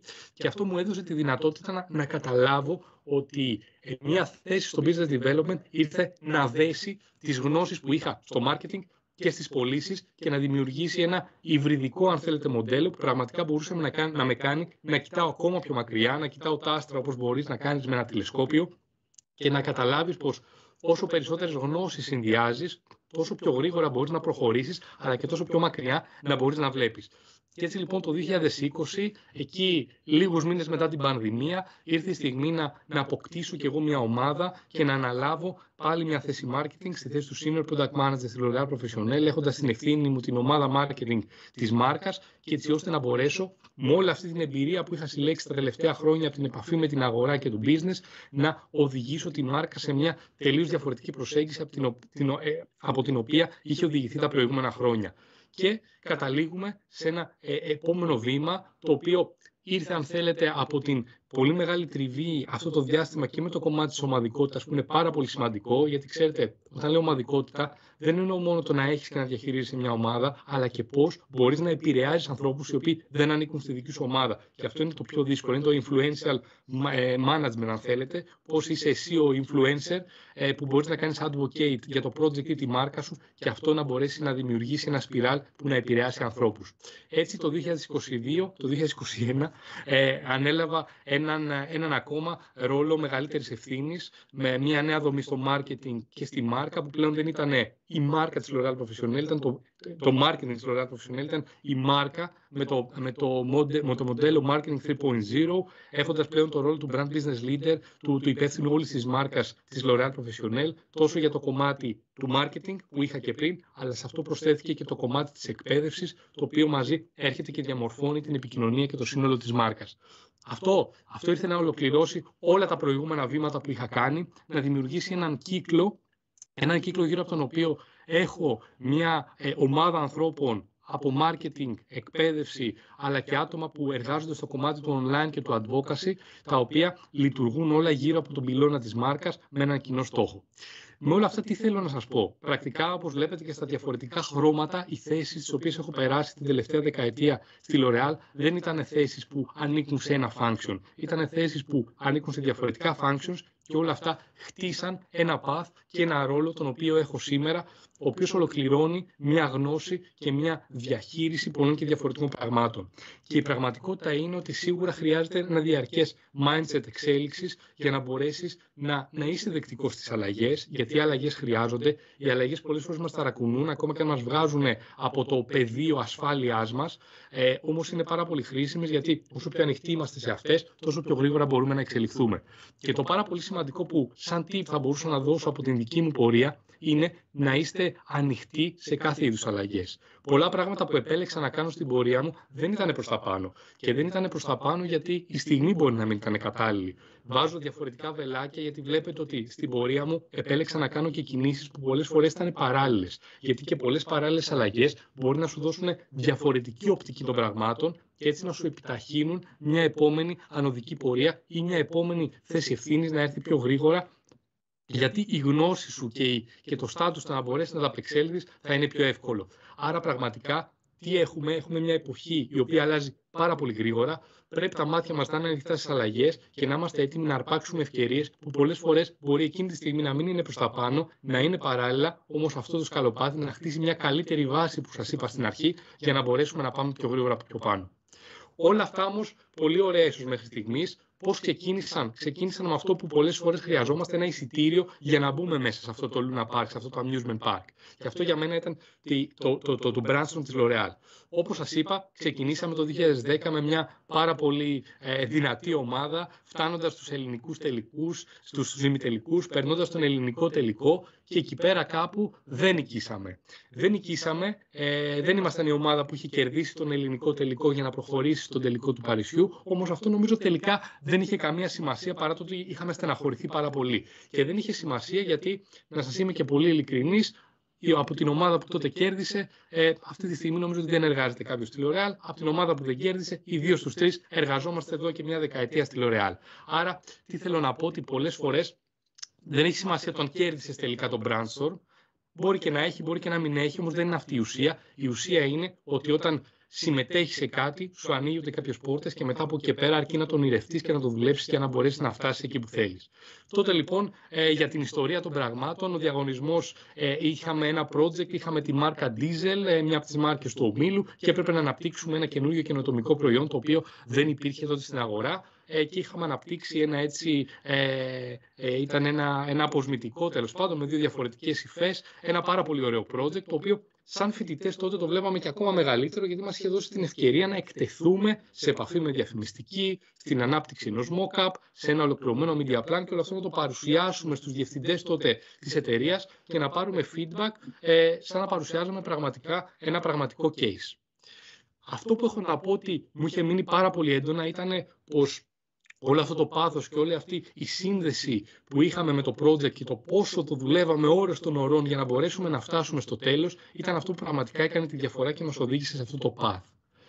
Πρέπει πάντα να είμαστε σε θέση να τεστάρουμε, να κοιτάμε, να, να, να, να κάνουμε εξάσκηση στα πράγματα που θέλουμε να πούμε, γιατί έτσι θα είμαστε ακόμα πιο έτοιμοι. Και το είχαμε δουλέψει πάρα πολύ, πραγματικά το είχαμε δουλέψει πάρα πολύ, σε σημείο που είχαμε αποκτήσει πάθος και νομίζω ότι εκείνο το δίμηνο, τρίμηνο που δουλεύαμε πάνω σε εκείνο το project στο Brainstorm, ε, δεν πρέπει να συζητούσαμε τίποτα άλλο, ούτε με την οικογένειά μας, ούτε στους καφέδες που πηγαίναμε τότε στο πανεπιστήμιο. Πρέπει να μιλούσαμε μόνο για αυτό, και όμως αυτό το πάθος ήταν που μας ενεργοποιούσε και μας έδινε ενέργεια. Όμως, όπως είπα και πριν, δεν είχαμε νικήσει. Αλλά κάποιες φορές δεν έχει σημασία, γιατί όπως πάλι ο Walt Disney είχε πει, ότι ένα πράγμα δεν πρέπει να ξεχνάμε. Ακόμα και για τα πιο μεγάλα πράγματα ξεκίνησαν από ένα ποντίκι. Ναι, ένα ποντίκι. Που το ποντίκι που φαντάζομαι για πρώτη φορά είχε σχεδιάσει ο Walt Disney, κάπως έτσι θα ήταν. Και όλοι θυμόμαστε πώς εξελίχθηκε και πώς έχει φτάσει σήμερα να είναι ο Mickey Mouse, η Disneyland και ό,τι αυτό εκπροσωπεί. Άρα λοιπόν, πολλά μικρά πράγματα μπορεί ε, να φαίνονται σήμαντα, μπορεί να φαίνονται μικρά, μπορεί να έχουμε ιτηθεί προς στιγμή. Κάποιες φορές έχει σημασία γιατί παίρνουμε μαθήματα, βγαίνουμε πιο δυνατοί και μπορεί να φτάσουμε εκεί που πραγματικά έχουμε ονειρευτεί. Φεύγω από το δικό μου κομμάτι όμως και πάμε να δούμε λίγο πώς το Brandstorm γιορτάζει φέτος τα 30 χρόνια. Brandstorm λοιπόν ε, και, και φέτος ο διαγωνισμός αλλάζει, έχει όλα αυτά τα, τα νέα σημεία που μας είπε και η Ελισάβετ. Αυτό που μπορώ να σας πω όμως και, και είπα και στην αρχή είναι ότι ένας διαγωνισμός που πραγματικά εξελίσσεται συνέχεια. Και το λέω γιατί εγώ έλαβα μέρος το 2010, πριν από 12 χρόνια, στα 18, εκεί στα 17-18 του χρόνια. Και πραγματικά τότε ήταν κάτι το οποίο δεν συνέβαινε από άλλη εταιρεία στην Ελλάδα. Και ήταν κάτι το οποίο μας είχε κάνει πολύ μεγάλη εντύπωση το πόσο ανοιχτοί ήταν όλοι οι άνθρωποι να μας υποδεχτούν στη L'Oreal και να μας βοηθήσουν σε αυτό το project. Έτσι λοιπόν βλέπουμε ότι είναι ένας διαγωνισμός που πλέον απευθύνεται σε κάθε είδους ε, εξειδίκευση, σε κάθε είδους ε, κατεύθυνση σπουδών μπορεί να έχει κάποιος έχει συμμετέχοντες από πάνω από 65 χώρες, άρα βλέπετε ότι ναι μεν η κάθε, ε, μιλάμε τώρα για το, το πλαίσιο της Ελλάδας, αλλά μέσα από αυτό θα αναδειχθεί μια νικήτρια ομάδα η οποία θα αντιπροσωπεύσει τη χώρα στην, ε, στο συνολικό διαγωνισμό των, των υπολείπων χωρών. Ε, πάνω από 60-65 ε, συμμετοχές από όλο τον κόσμο και μάλιστα το 1 τρίτο από αυτές είναι σε fields τα οποία δεν είναι fields σχετικά με το marketing, αλλά είναι fields σχετικά με την τεχνολογία πλέον. Ε, αυτό που έχει σαν καινοτομικό επίσης φέτος ο διαγωνισμός είναι ότι δεν σου δίνει απλά ένα project, όπως για παράδειγμα εμάς μας είχαν δώσει ένα συγκεκριμένο project και είχαμε μια πολύ συγκεκριμένη κατεύθυνση του τι να κάνουμε, αλλά σου δίνει τρεις διαφορετικές επιλογές που θα τις δούμε και παρακάτω, από τις οποίες μπορεί κάποιος η ομάδα, η κάθε ομάδα να διαλέξει ένα field το οποίο να επιλέξει να χτίσει εκεί το project του και να μπορέσει να έρθει να το παρουσιάσει. Και όπως είπε και η Αλισάβετ, πλέον ο διαγωνισμός είναι ανοιχτός για άτομα από ηλικίες κάτω των 30 ετών, άρα είναι ένα πάρα πολύ μεγάλο ηλικιακό φάσμα που πραγματικά ανοίγει τους ορίζοντες και του διαγωνισμού και των συμμετοχών, όχι μόνο στο κλειστό κομμάτι ε, ενός φοιτητικού διαγωνισμού που ήταν τότε. Και εδώ θέλω να κάνω τη σύγκριση, γιατί νομίζω ότι έχει αξία. Θυμάμαι 12 χρόνια πριν, όταν εμείς συμμετείχαμε, που ήταν το πλαίσιο, τότε ο διαγωνισμός απευθυνόταν κυρίως σε ε, άτομα που ασχολιόντουσαν με ε, οικονομικές σπουδές, σπουδές marketing, γιατί ήταν πιο κοντά στο, στο περιεχόμενο των δικών τους σπουδών. Τότε απευθυνόταν, αν θυμάμαι καλά, σε προπτυχιακούς φοιτητές και με τα χρόνια άρχισε να ανοίγει και σε μεταπτυχιακούς. Ε, και αυτό μάλιστα ήταν και ε, κάτι το οποίο μου πήραν αρκετοί φίλοι από το σχολείο που σπούδαζαν σε άλλα ιδρύματα μη οικονομικά, που μου λέγανε Μα θέλουμε να λάβουμε και εμείς μέρος, πώς είναι δυνατόν να είναι κλειστό για μας και ούτω καθεξής. Ε, και επίσης τότε το project που είχαμε ήταν ένα συγκεκριμένο, το να αναπτύξουμε σε μια συγκεκριμένη μάρκα μια νέα σειρά προϊόντων. Αυτή τη στιγμή Α, και εννοείται ότι το, το γεγονός ότι απευθυνόταν μόνο σε φοιτητές είχε και ένα πολύ συγκεκριμένο όριο ηλικίας. Όλα αυτά βλέπουμε ότι έχουν αλλάξει, έχουν αλλάξει πάρα πολύ. Ο διαγωνισμός γίνεται πάρα πολύ inclusive, έτσι ώστε να μπορέσει ακόμα περισσότερος κόσμος να λάβει μέρος, να τοποθετήσει τις ιδέες του και να δείξει πραγματικά τις δυνατότητες που έχει και να αποκτήσει επαφή με την εταιρεία.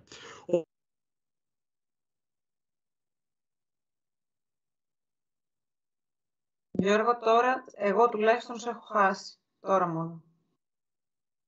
Ναι, το χάσαμε.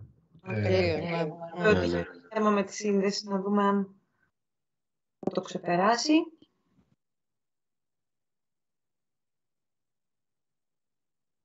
Το θέμα είναι αν το, το ξέρει.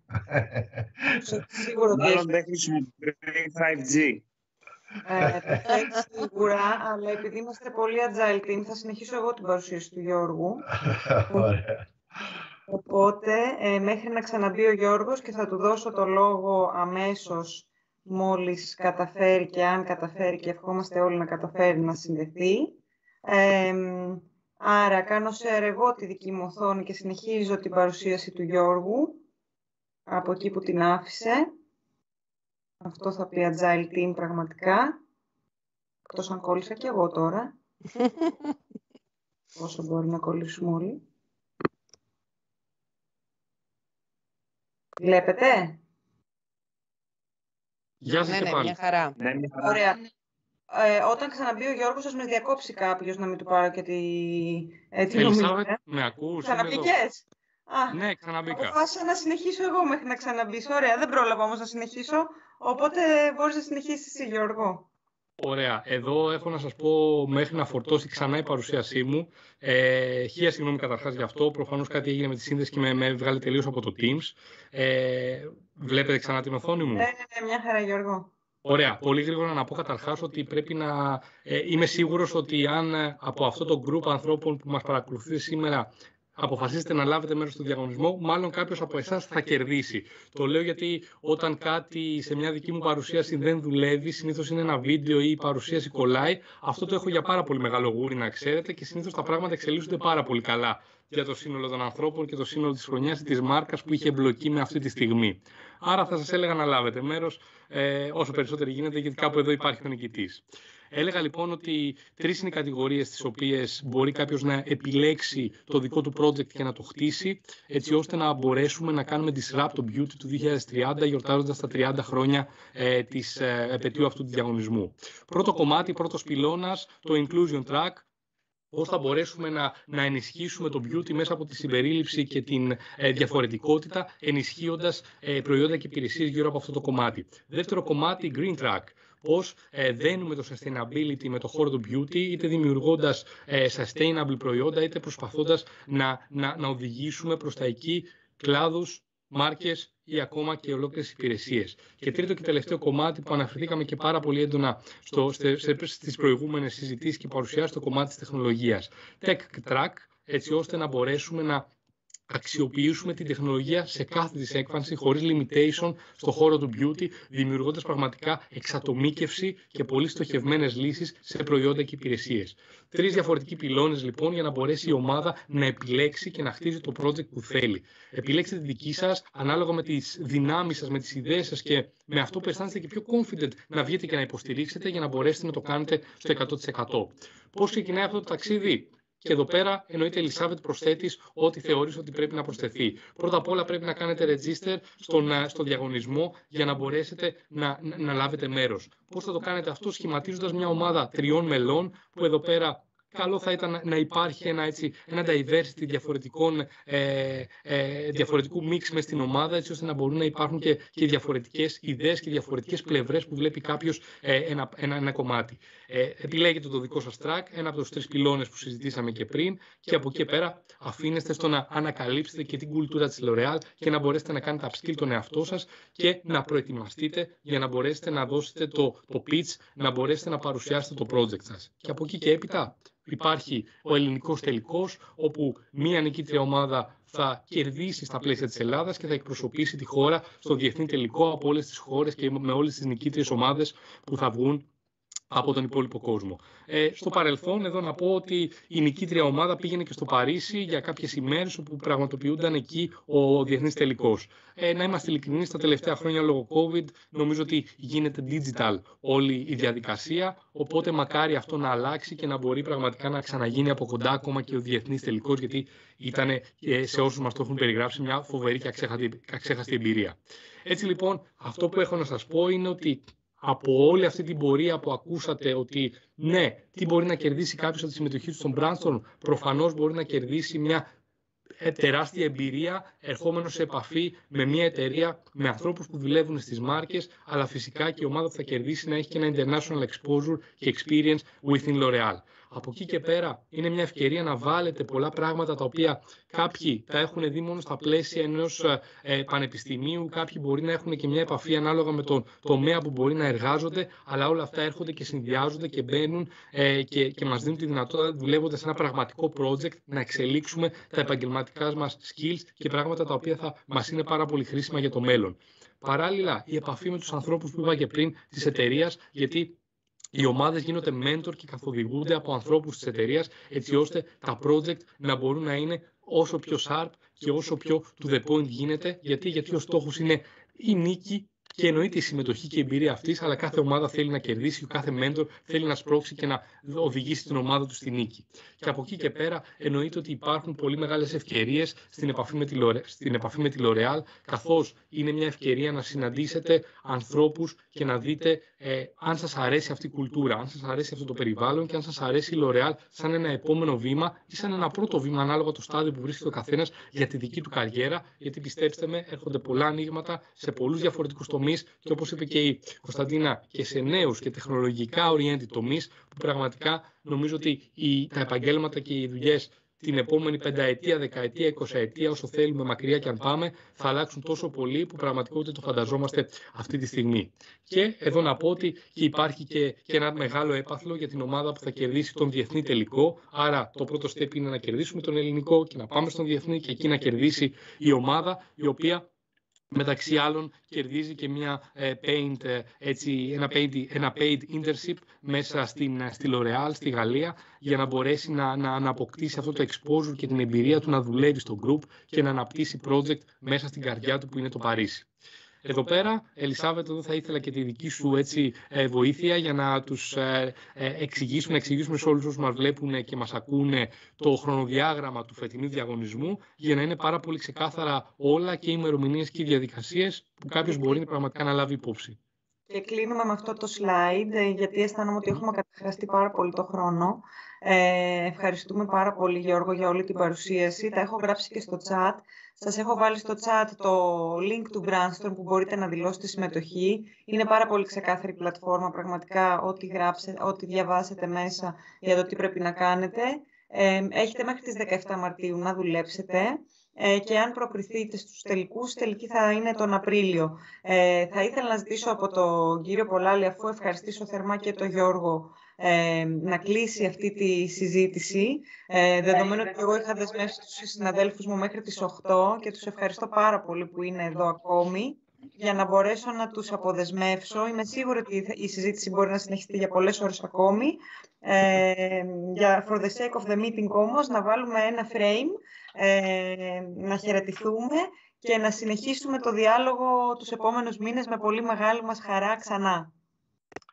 Thank you, Elisabeth. Thank you, Alex. Thank you, Constantina. Thank you, George. It was it was really a great experience, a great journey that you took us uh, tonight.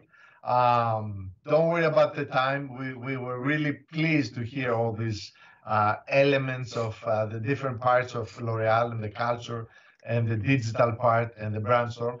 If you saw me a few minutes ago that I was standing up trying to find something, uh, I was trying to find some of the brochures that the brainstorm was uh, distributing 15 years ago to our students because a lot of our students had, had, took place in those. Uh, I, I, wasn't very successful uh, uh, in finding them, but I will because different things here in my office. But really, thank you. Um, I've got hundred tens of messages from the students saying how great this was for them as an experience. Uh, we will uh, talk again in the near uh, future. we meet, we'll do different things. We restart our uh, collaboration as we did in the past. And uh, thank you all for your time and your effort in doing this. Really, we really appreciate it because this is what we're trying to do here at the university to combine what we teach with uh, actual uh, things that companies and executives and motivated people are doing daily at work.